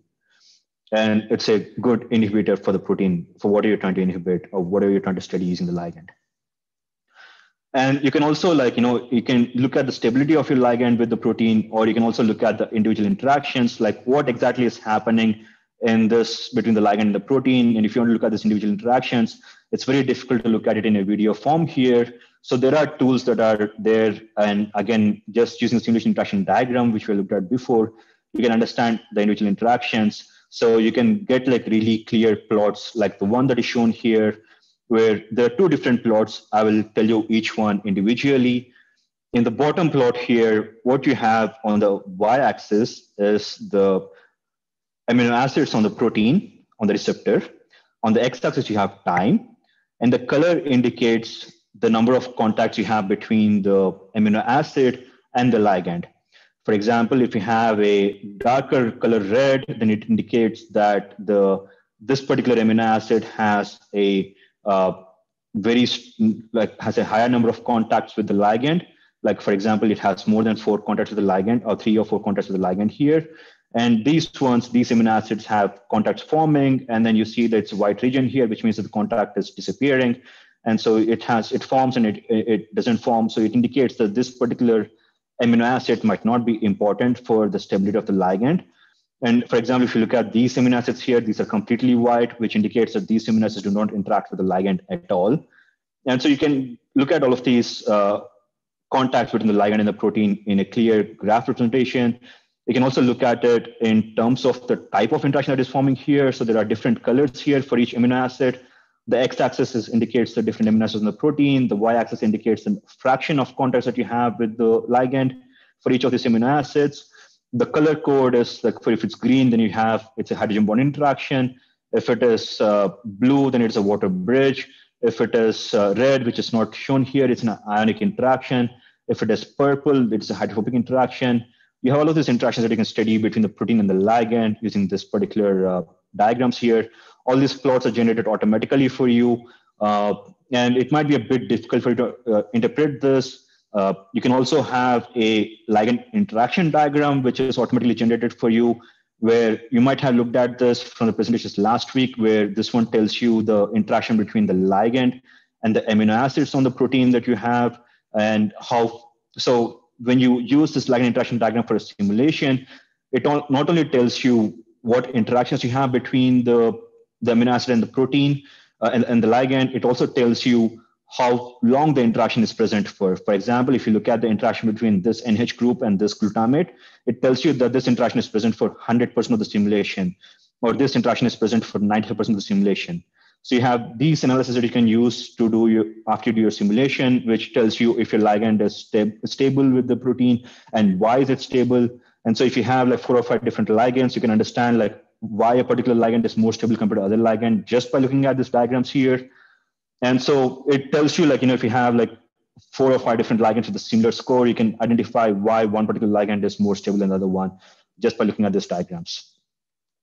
And this is from a ligand perspective. So you can look at the interaction between ligand and protein from ligand perspective. Uh, you can also look at the protein fluctuations. So if you have a part of the protein that is interacting with the ligand, then those parts will be moving less compared to the rest of the protein. Uh, and so you can measure those particular uh, uh fluctuations too. So if if a, a, particular amino acid in the protein has interaction with the ligand, it's going to move less. So if you look at this particular plot here, you have the residues on the protein on the x-axis, and you have the fluctuations on the y-axis. And if you look at this particular plot, you have high fluctuations here, you have low fluctuations for some of them, and you have high fluctuations, low fluctuations, and all of this is changing for each amino acid. And if you look at this particular plot here, if you look at these particular green lines here, this indicates that these particular amino acids are interacting with the ligand. And you can see that the ones that interact with the ligand have lower fluctuations compared to the ones that do not interact with the ligand. So this tells you like which uh, part of the protein is interacting with the ligand. So you can try to modify your protein if you want to, if you know what you're trying to do, or you can try to modify your ligand, change the functional groups to understand why certain amino acids are interact with the ligand and why certain other amino acids are not interacting with the ligand. So you can do all of these analysis. And these are just some of them. There are like a lot more, many more analysis that you can do here. Uh, you can also study how a, a, ligand goes into the protein and leaves the protein, binding, unbinding. You can do all of those studies. Uh, you can. There are other methods of molecular dynamics that you can use, like metadynamics or replication molecular dynamics, or you can also use energy perturbation. There are these different methods that are available for you, where, which you can use to calculate your uh, simulations in a faster way, in a better way, in a more accurate way. So all of these options are there. I'm not going to details of these things. It's just good to be aware of that there are some options that you can use. And uh, lastly, I would like to thank the team that uh, all of us are here. Uh, so this is our entire team. And uh, I'll be happy to take any questions. And if I'm not able to any, answer any of the questions, you can always email me the questions at kaushik.com or you can always call me on my mobile number that is shown here. And I'll be happy to take any questions uh, that are there. Uh, thank you, Dr. Kaushik, for that uh, wonderful presentation. We have received a lot of questions. Um, so I'm just going to, okay.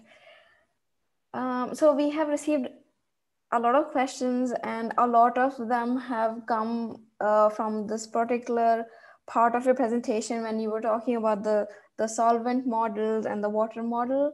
So okay. um, I'm just gonna put all those questions together and ask you. Um, so the first question is, um, like they want you to elaborate a little bit about the solvent models and also like what uh, would be like how do you choose like different solvent models the water models why did you use uh, TIP3P water why did you show that and is there somewhere they can read up about it uh, about the different solvent models in schrodinger yes uh, sure so let's break this down. So there are different water models, and the reason why there are different water models is because of two things. One is how long does it take to compute the interactions, and two is when was the water model developed. So the if you look at the different water models, some of them are three-point water models, some of them are four-point water models, some of them are five-point water models. So a point indicates the number of uh, point, atoms that you might have in your system. So for a three-point water model, we have the oxygen, hydrogen, and hydrogen, which is what you would expect for a water model. But if you also think of a uh, water model, the oxygen has two lone pairs. And there are different ways of trying to account for the lone pairs. And that's why you have different water models like four point water models or five point water models. Um, and uh, the more the number of points that you have, the more the number of calculations that you have to do. So three point water model will have like probably two or three calculations. A four point water model will have an extra calculation that you have to do. And it's not just for one water molecule, you have to do the calculation, extra calculation for all the water molecules in your system. And because you have to do the calculation for all the water molecules, the extra calculation, it's going to be computationally more expensive. So again, it always comes down to how much computing power you have and what is the speed that you get with each water model. A three-point water model like SPC or TIP3P is the fastest, and a four-point water model is going to be slower than a, t- in a three-point water model. A five-point water model is going to be slower than a four-point water model. So you have to take these things into account when you're trying to do a simulation. In most cases, a three-point water model or a four-point water model are sufficient and they are accurate. Um, SPC was one of the first water models that you had, and TIP3P came after SPC, so it has better properties uh, compared to SPC.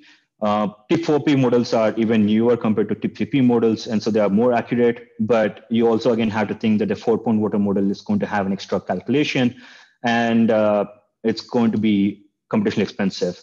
Uh, there are new water models like OPC, uh, and so there are different things that you have. So it always is a it's a uh, decision that you have to take depending on uh, which water model is accurate TIP3P is the best one, or SPCE, not SPC. SPC with an extended water model is, is the best one uh, that you can use. And so there are different choices that you have to make. And if you want to get more details on water models, uh, you can uh, look at Wikipedia. Wikipedia has a lot of information. You can just Google all the water models and you have all of this information that are there. And uh, TIP3P or TIP4P EW are good water models that you can use for these calculations. Right. Uh, there's another question. Um, so, is there a particular water model that is compatible with OPLS3? Yes, uh, TIP3P or SPC are compatible with them. Uh, you'll have to uh, look at the research papers. I can get back to you in detail as to which one is the best compatible one, but TIP3P and TIP4P should work perfectly well with OPLS3. Uh, all the water models are very well parameterized in OPLS3. Thanks, Pritesh. Right. Uh, so I think we covered all those questions. Um, since there were so many repetitions, so I thought maybe we can cover them all together. Uh, so the next question is, uh, why do you take one to five femtoseconds time step usually? Why is it preferred? So the reason why you have to take a small time step, like you can probably try 10 femtosecond, but it's not recommended and it's not ideal either. The reason being that if you look at the CH bond frequency, the carbon hydrogen bond frequency, uh, it has a particular frequency for that, like tempo minus 14 or minus 15. And so you, if you have a time step bigger than one, two femtoseconds, or even five femtosecond, then what would happen is if you try to move your atoms by the time you move your hydrogen and carbon atoms, the hydrogen and carbon bond will be broken if you take a bigger time step. And so you have to restrict it to one to two, four or five femtosecond because you want to keep the hydrogen attached to the carbon. And the CH bond frequency is, is of the order of a few uh, 10 femtoseconds or 20 femtoseconds. And you want to have your time step below that value. Thank you. Uh, so the next question is, I think you mentioned something like uh, you can run up to 100 nanoseconds a day. So on what hardware uh, are you giving those figures? Uh, these are on uh, regular gaming cards like GPUs. Like these numbers are applicable for uh, any of the GTX series. the P100s or the V100s have even faster time numbers. So these are just standard GPU cards that you can get uh, that you use to run your computer games or any of those things. And these numbers are available. Uh, you can look at the Schrodinger website to find out the timings for each of the different GPUs that are there.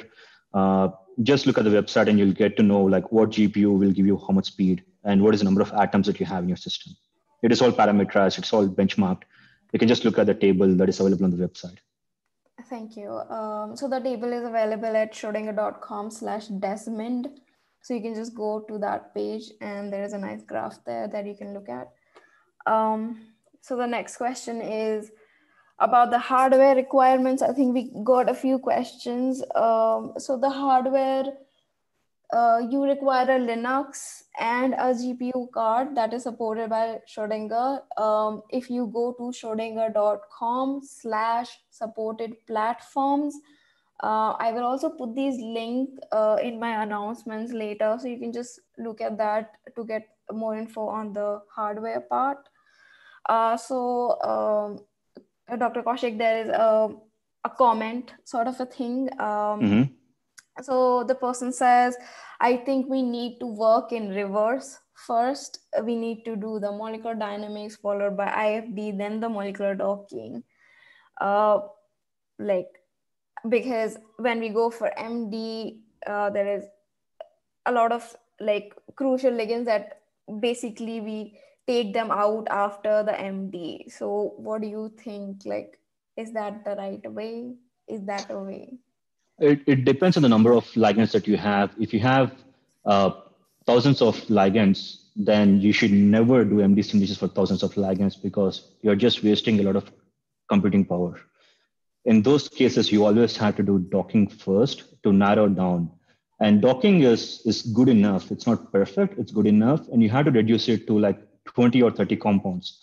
And when you have that, you can you can go for MD simulations. If you directly start with MD simulations before doing docking, I mean, if you have 10 ligands, yes, maybe you can do it. But if you already do MD simulations, then you don't have to do docking after that. Uh, MD simulation is good enough for you to understand if your uh, ligand is interacting with the protein or not. And you can also do MMGBSA calculations to identify an accurate binding energy for your molecule. So if you're doing MD simulations first, I don't think you should do docking after that. Docking should always be before MD simulations. Um, yeah, I wouldn't really do it in reverse order. I would always do it in from docking and then you go for MD. You don't have to do IFD either. You can go from docking to MD directly uh, if you have the computing power and if the number of ligands are 10 or 20, not more. Thank you. Uh, so the next question is, why is it necessary for MD systems to be neutral? Uh, that's a good question. And uh, the answer is not simple. Uh, the reason that you have to keep the system neutral is because of periodic boundary conditions. And uh, so think of this like uh, in when you do an experiment, the protein is mostly in a neutral environment. And uh, they make it neutral by adding salt, uh, so that tries to keep it neutral. But if you have an ion in, a, in MD simulation, then that ion is going to be replicated in the periodic images. And because you have the ion being replicated in periodic images, then uh, uh, so let's say you have like one ion or two ions, then it's a plus two or, or minus two charge. Then that minus two charge is replicated in all the images. And so your overall system will have a really high positive charge, a really high negative charge.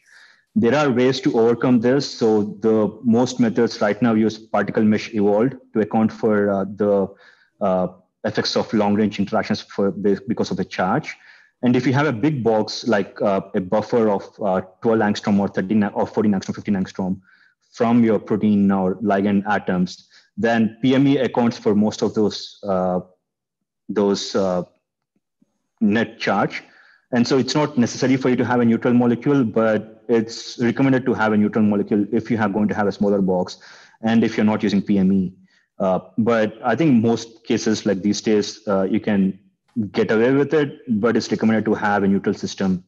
Um, and the best way to neutral a system is by adding salt. If you're adding ions, then you should also add salt. Otherwise, you have a net charge that is duplicated across all your periodic boundary images. Thank you, Dr. Kaushik. I think you answered the next question also. Um, so the question is when we when do we need to add salt and when we can avoid this? Uh, just to add on that point, uh, you always want to replicate your MD simulation to be as close to the experiment. And if when you do, when you look at the paper that they did experiment, uh, experimental studies on in them, and if they use salt when, when they did the calculation, then you have to use salt in your simulation as well. So it's not just about neutralizing your system, it's also about trying to be as close to experimental as possible. So always read the paper, always try to see what has been done before. And if there is no information on that, then you might, you don't have to add a salt, but if the experiment uses salt, then you have to use a salt. Thank you. Uh, so the next question is, what is the optimal simulation time, recording interval, and the number of frames? Um, so the number of frames, so the simulation time interval, ideally you want to, depends on what you want to study. Um, so if you want to study just the stability of the ligand, like 15 nanoseconds is sufficient to do the calculation. But if you want to study ligand binding and unbinding, where it goes into the binding pocket, goes out of the binding pocket, then you have to do a calculation for microseconds. And uh, again, you know, the number of frames that you want to have is also dependent on what you're trying to study. For example, if you're looking at uh, stability of the ligand, then you don't have to, then you have to save your uh, your uh, frames often, like every 10 picoseconds or 20 picoseconds. Um, but if you're trying to do a calculation for ligand unbinding and binding, then the motions happen on a longer time scale, like microseconds. So you can save your simulations every 100 picoseconds or uh, 200 picoseconds, but it's recommended to save your frames uh, less, at least every 100 picoseconds or even 20 picoseconds, because you if you have more number of frames, you can always like skip the frames when you're doing analysis. If you have less number of frames, you can never add frames to it. So you always want to have as many frames as possible, but a good number is 10 picoseconds or 20 picoseconds is a good number to save your frames. And the simulation timeline is always dependent on what you're trying to study. Thank you. Uh, so moving on to the next question, um, how do we choose between different ensemble classes? So uh, the ensemble classes are, so I mentioned you four, five different ensembles, but you mostly will be dealing with NVT or NPT. If you have membrane, then you have NPAT or NP gamma T. So you only use those ones if you have a membrane, those the last two ones. But NVT and NPT, you can use either one of them.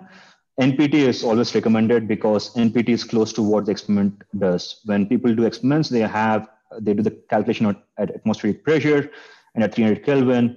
You can change your pressure, you can change your temperature, but it's recommended to use the default values. And because the experiment always does it at one bar and 300 Kelvin, you want to be close to experiment and you want to use NPT. But uh, you can use NVT or NPT. Uh, it's not going to be a big difference. Uh, yeah, you can use either one of them, but NPT is better because you can directly get Gibbs free energy from an NPT ensemble. Right. Um, so the next question is, um, is it possible Okay, if uh, yeah, is it possible to run MD on a simple ligand molecule to see the interaction between the surrounding water?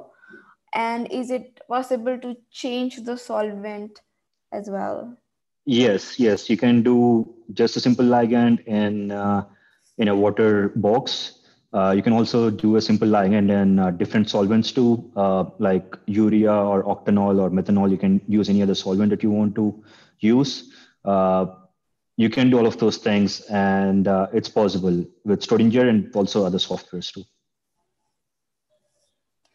Right. The next question is um, how much R RMSD deviation is permitted? Uh, do we need to consider the mean RMSD or the individual point RMSD? Uh, so your RMSD should ideally be less than two angstrom um, from your initial structure or from the native structure or X-ray structure. You can probably go to maybe 2.5 to 3 for the protein, but the ligand should be less than 2 angstrom. Again, these are not like uh, strong cutoffs. It's recommended to have them less than 2 angstrom. Um, and uh, you need to look at the individual data points for the RMSD. Looking at the mean RMSD does not tell you that much because let's say you have a ligand that just unbinds and binds again and so if it's binding and unbinding, then you can have an RMSD of five angstrom. And if it binds, you can have an RMSD of two angstrom. And so the average would be around 3.5, something like that. It's if you're trying to publish your data, they always it's always recommended to have the individual RMSD points for your entire simulation in either the main paper or in the supporting information. Thank you. Um, uh, there's a question um, Is MD simulation done on Galaxy? That is, use Galaxy platform. Uh, does that work better? I'm not sure of what the use Galaxy platform is. Uh, do you have any idea?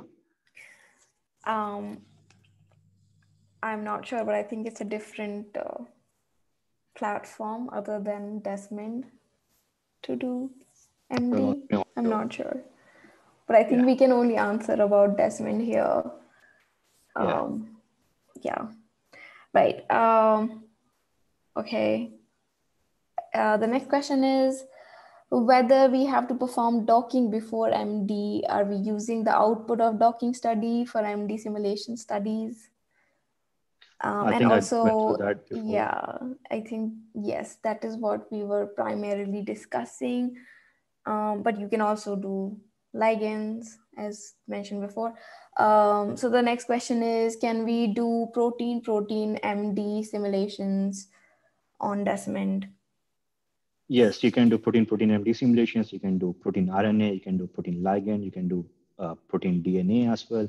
You can you can do for simulations for any molecule that you can think of.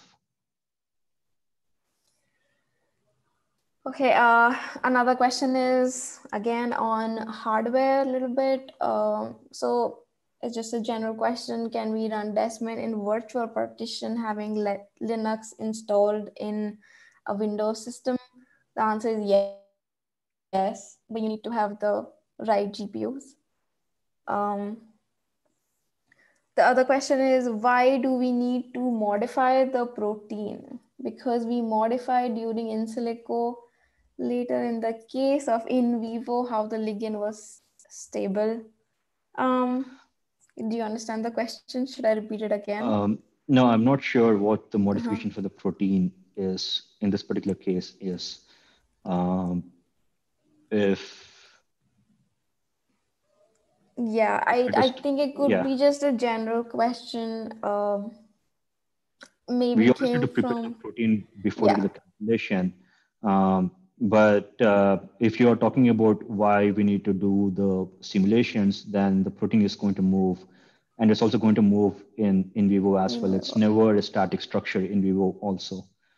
So if the modification is pertaining to the protein structure, uh, then simulations will help. But I don't understand the question perfectly. So yeah. yeah. Um, if you want to, you can just email us the question if we did not understand it properly um, okay, sorry, these are just the new questions. I have not read them before. Um, okay, so proteins in human physiology stay in a variable ionic environment. Then how we keep a neutral environment? Uh, yes, so in simulations, you can have you have the option of trying to set a pH for your calculation. So you can, and you can also have uh, simulations being done at constant pH as well, where if the constant pH value is at this place at, at the value where you can have a charged state and an uncharged state, you can also do those things in the simulation as well. Uh, it, you cannot vary the pH while the simulation is happening, but you can definitely try to study an interaction where you can have a hydrogen atom being added or a charge being lost. Uh, those things are possible as well. Again, it depends on what you're trying to study. Uh, it's not necessary that the pH has to be at seven. You can modify the pH. You can do a calculation with different pH. Thank you. Uh, I think next is just a general uh, question. How can we avoid ligand binding with other proteins? Um, so uh, you have to do experimental studies to find that out. Uh, there is no clear way for you to do it. One thing that you can do is to cross-talking, but uh, again, you have to do an experiment to find out if your ligand is binding to some other protein. Um, and so, yeah, I mean, if your if your setup is pro, pro, proper, like if you do your docking well, if you do your simulations well, then you can be sure that the ligand is going to interact with your protein of with the protein of your choice. But you always have to do an experiment to confirm that is true or not. Thank you. Uh, so the next question is, um, okay. An ensemble is a collection of all possible systems which have different microscopic states but have an identical macroscopic or thermodynamic state. What does that mean? And is that the right ensemble that we are talking about? Uh, so no, that's a different ensemble. Uh, so there are the NPT, NVT, NPAT, and NP gamma T. They're all different ensembles that is assigned for doing the simulation. But the ensembles that are being talked that is that is being mentioned in this particular question is refers to a different ensemble. So ensemble is a set of different conformations that you can have. Uh, for example, you can have a protein bound to a ligand, or you can have a conformation where the ligand is unbound to the protein. So if you want to think of a macroscopic state, one macroscopic state in that scenario would be that the protein ligand bond form is one macroscopic state. The other macroscopic state is the protein ligand unbound form. Now, within the protein ligand bond macroscopic form on some uh, state, you can also have different conformations of the ligand and the protein because they are dynamic in nature.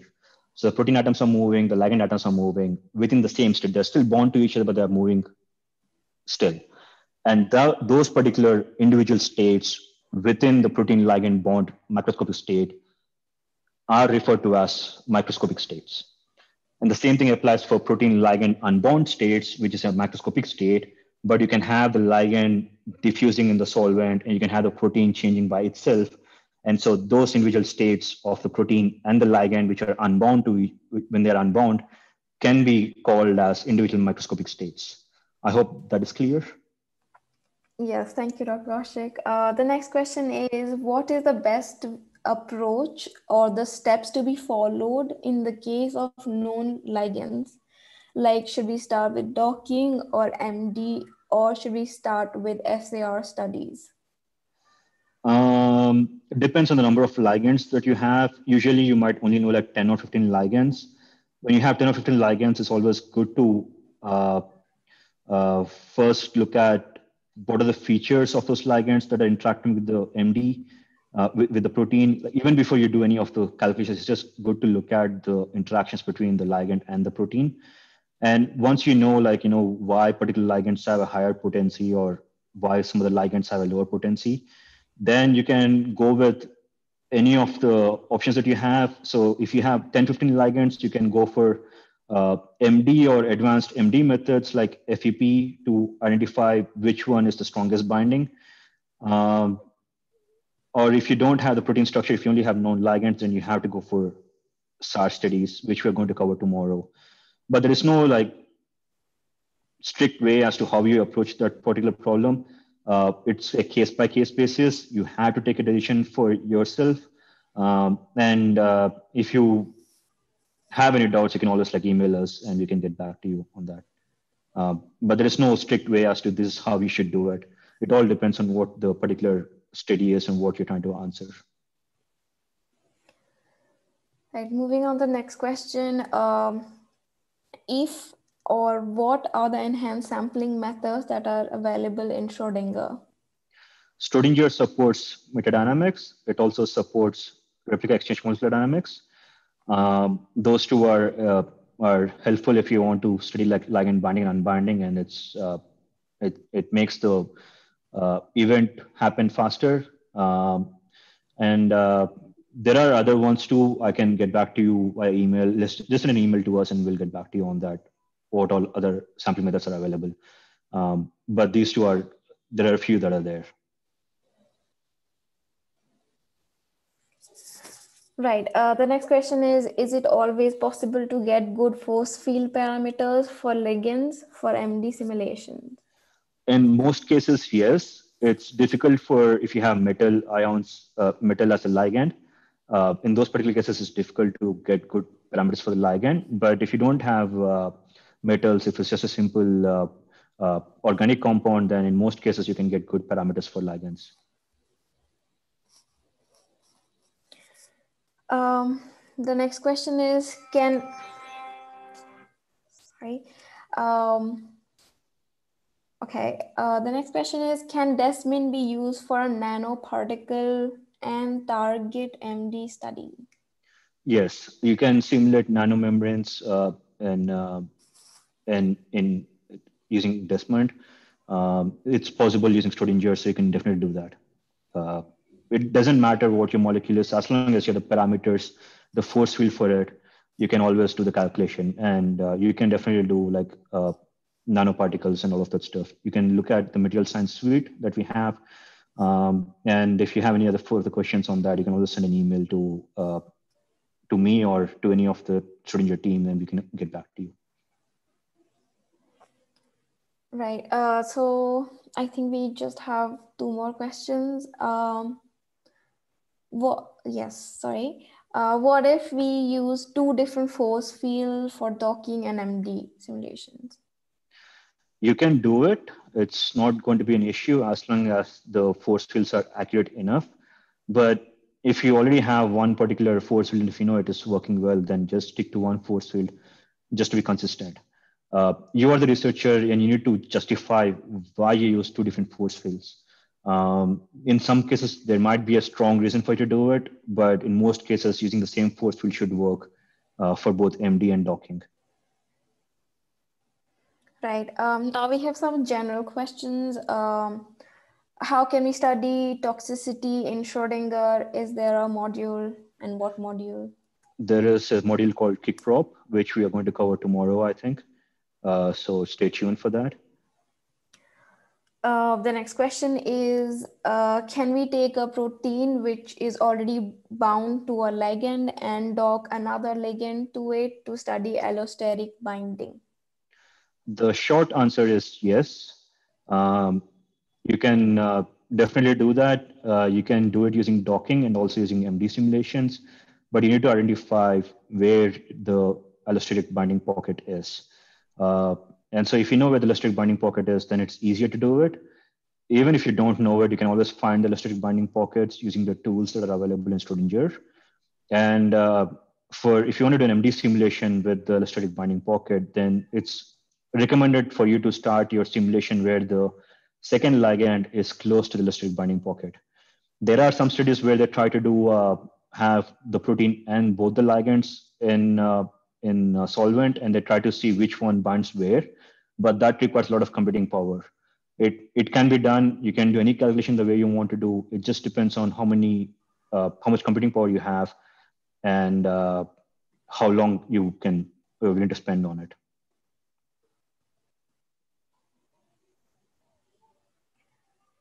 Thank you. Uh, we received uh, one new question, how to keep chlorine ions in the chloride binding pocket, say in some kinases during MD simulation, as I have seen it moves out while performing simulations. So if you want to restrain any atom in a simulation, you can do that by adding restraints to it. You have to identify what restraints are suitable for each case. Uh, you because the atoms are moving, I won't recommend you to use uh, positional restraints, but you can always define a restraint as like a interaction between the chlorine ion and some other ion that you know has to interact. Uh, you can have a harmonic potential, which is going to move the chlorine atom, uh, chlorine ion uh, within a certain range. So there are different ways to look at it. I'm not sure how this particular case, what is the best restraint that you can put for this particular case. Uh, send an email to us and we'll get back to you on that. Thank you. Uh, I think there was another question about if you can run uh, MD simulation on Jupyter Notebook. Uh, the question is no, it is an IDE as far as I know. Um, if you have any comments on that, Dr. Kaushik. There are freely available modules that you can import in the Jupyter Notebook that can do MD simulations, but I haven't never done it, and I don't know how easy it is. Uh, and if I can think, if I'm the way I'm thinking, it might be possible to do it, but I just have no idea how to do it. Um, you can also write your own MD program. If you have an MD program in Python, you can always import it in, in Jupyter Notebook and you can run your calculation. So it's just an IDE, as Shelvia said. It depends on if you have the module to import into Jupyter and uh, to do the calculation. So it's possible to do it, but uh, I wouldn't really recommend doing it. Yeah, and also Desmond cannot be imported at least directly. And uh, also Galaxy, I think you asked the same question. It is also something similar to that. And uh, yes, I don't think you can get the source code of Desmond also imported there that is not allowed. Okay. Um, I don't think there are any more questions. Um, Thanks, Shelvia. Thank you, Dr. Kaushik, for answering those questions and uh, for the presentation. Um, I think, uh, yes, we have a few announcements. Um, so I think today, this morning, uh, you must have received the form for evaluation uh, the email is sent uh, via ddcourse. And please make sure that you check your promotions and the spam uh, section as well of your inbox. Um, so it might have gone there. Um, it was slightly delayed. Apologies for that. I think I mentioned that it will be sent you on Friday, and I, I, I received a lot of queries and some phone calls that it was not sent. Uh, so there were a lot of people who were still registering. Uh, that is why we um, put it on hold, and it was sent today this morning. Um, so if you want to avail evaluation license, which is a, a standalone license that will work on your own machine, uh, make sure that your hardware matches uh, with the minimal configuration that we have mentioned in the form. If you have any other uh, configuration that is not mentioned, uh, you may write that in the other column of the hardware question. Um, and we'll look at it and uh, we will see if we can support that or not. Um, so an evaluation license just uh, basically means that you will get a license for a month that you can run on your computer. So you will receive all the uh, all the modules that we've been talking about. Um, as you know desmond cannot run on windows or mac so you will need a linux uh, system operating system and also supported gpus in order to run desmond. Um, the other thing is uh, we also talked about the Schrodinger online course. So if you do not have the hardware or you would just like to uh, explore our Schrodinger online course, uh, we will be sharing the discount codes for you. Um, uh, the, the website, uh, I think I should just share my screen one second. Hmm.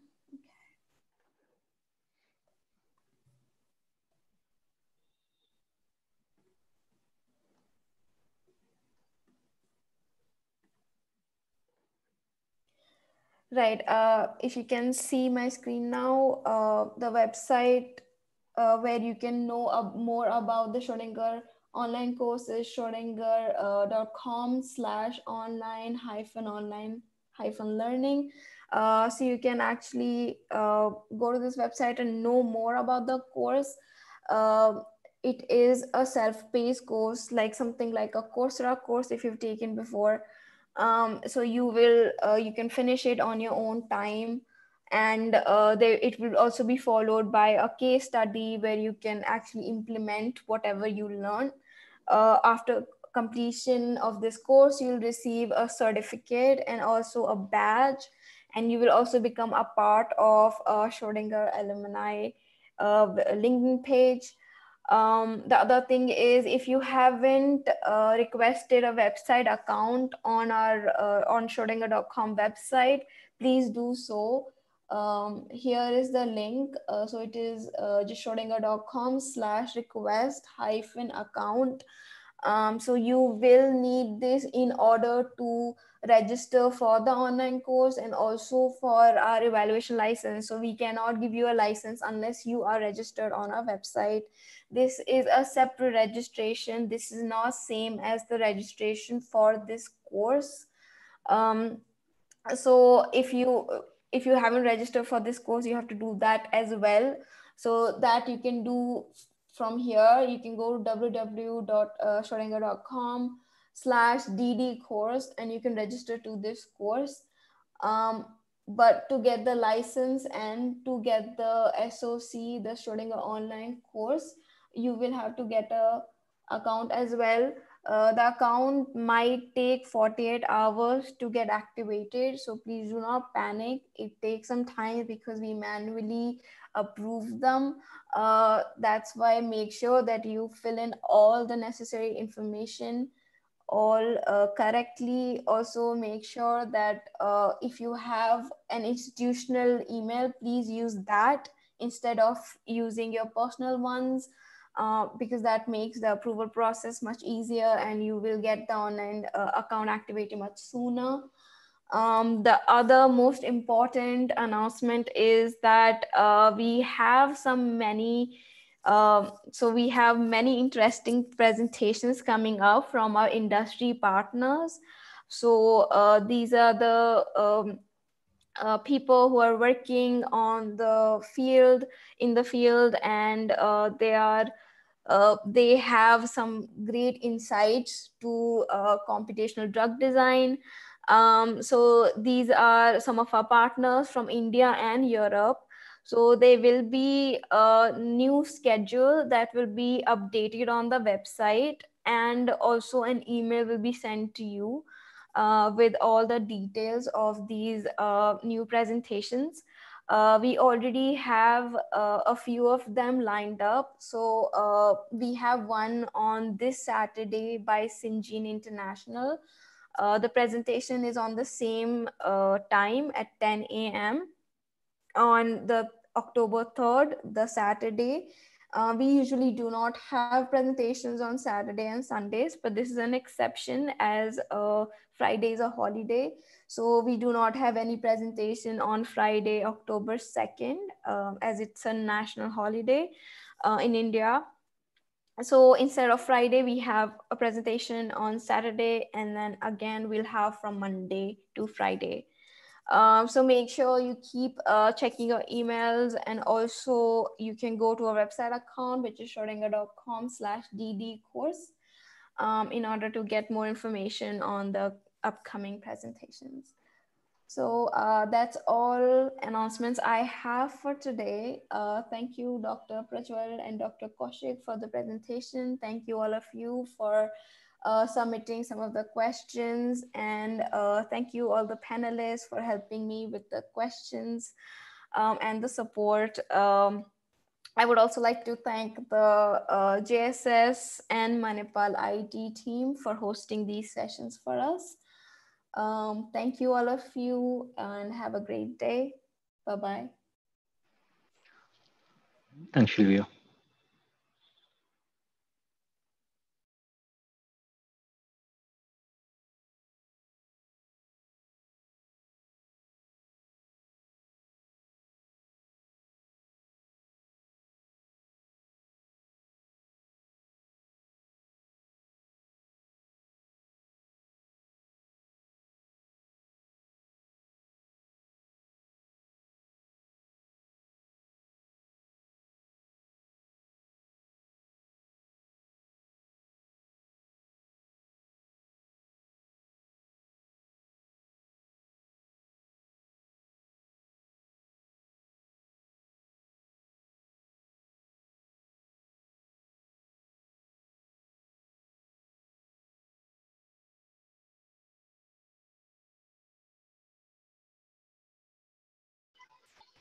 Uh, Ravindra sir, uh, I think you can stop the live session. Uh, sure, sir. I'm stopping now. Yeah, thank you.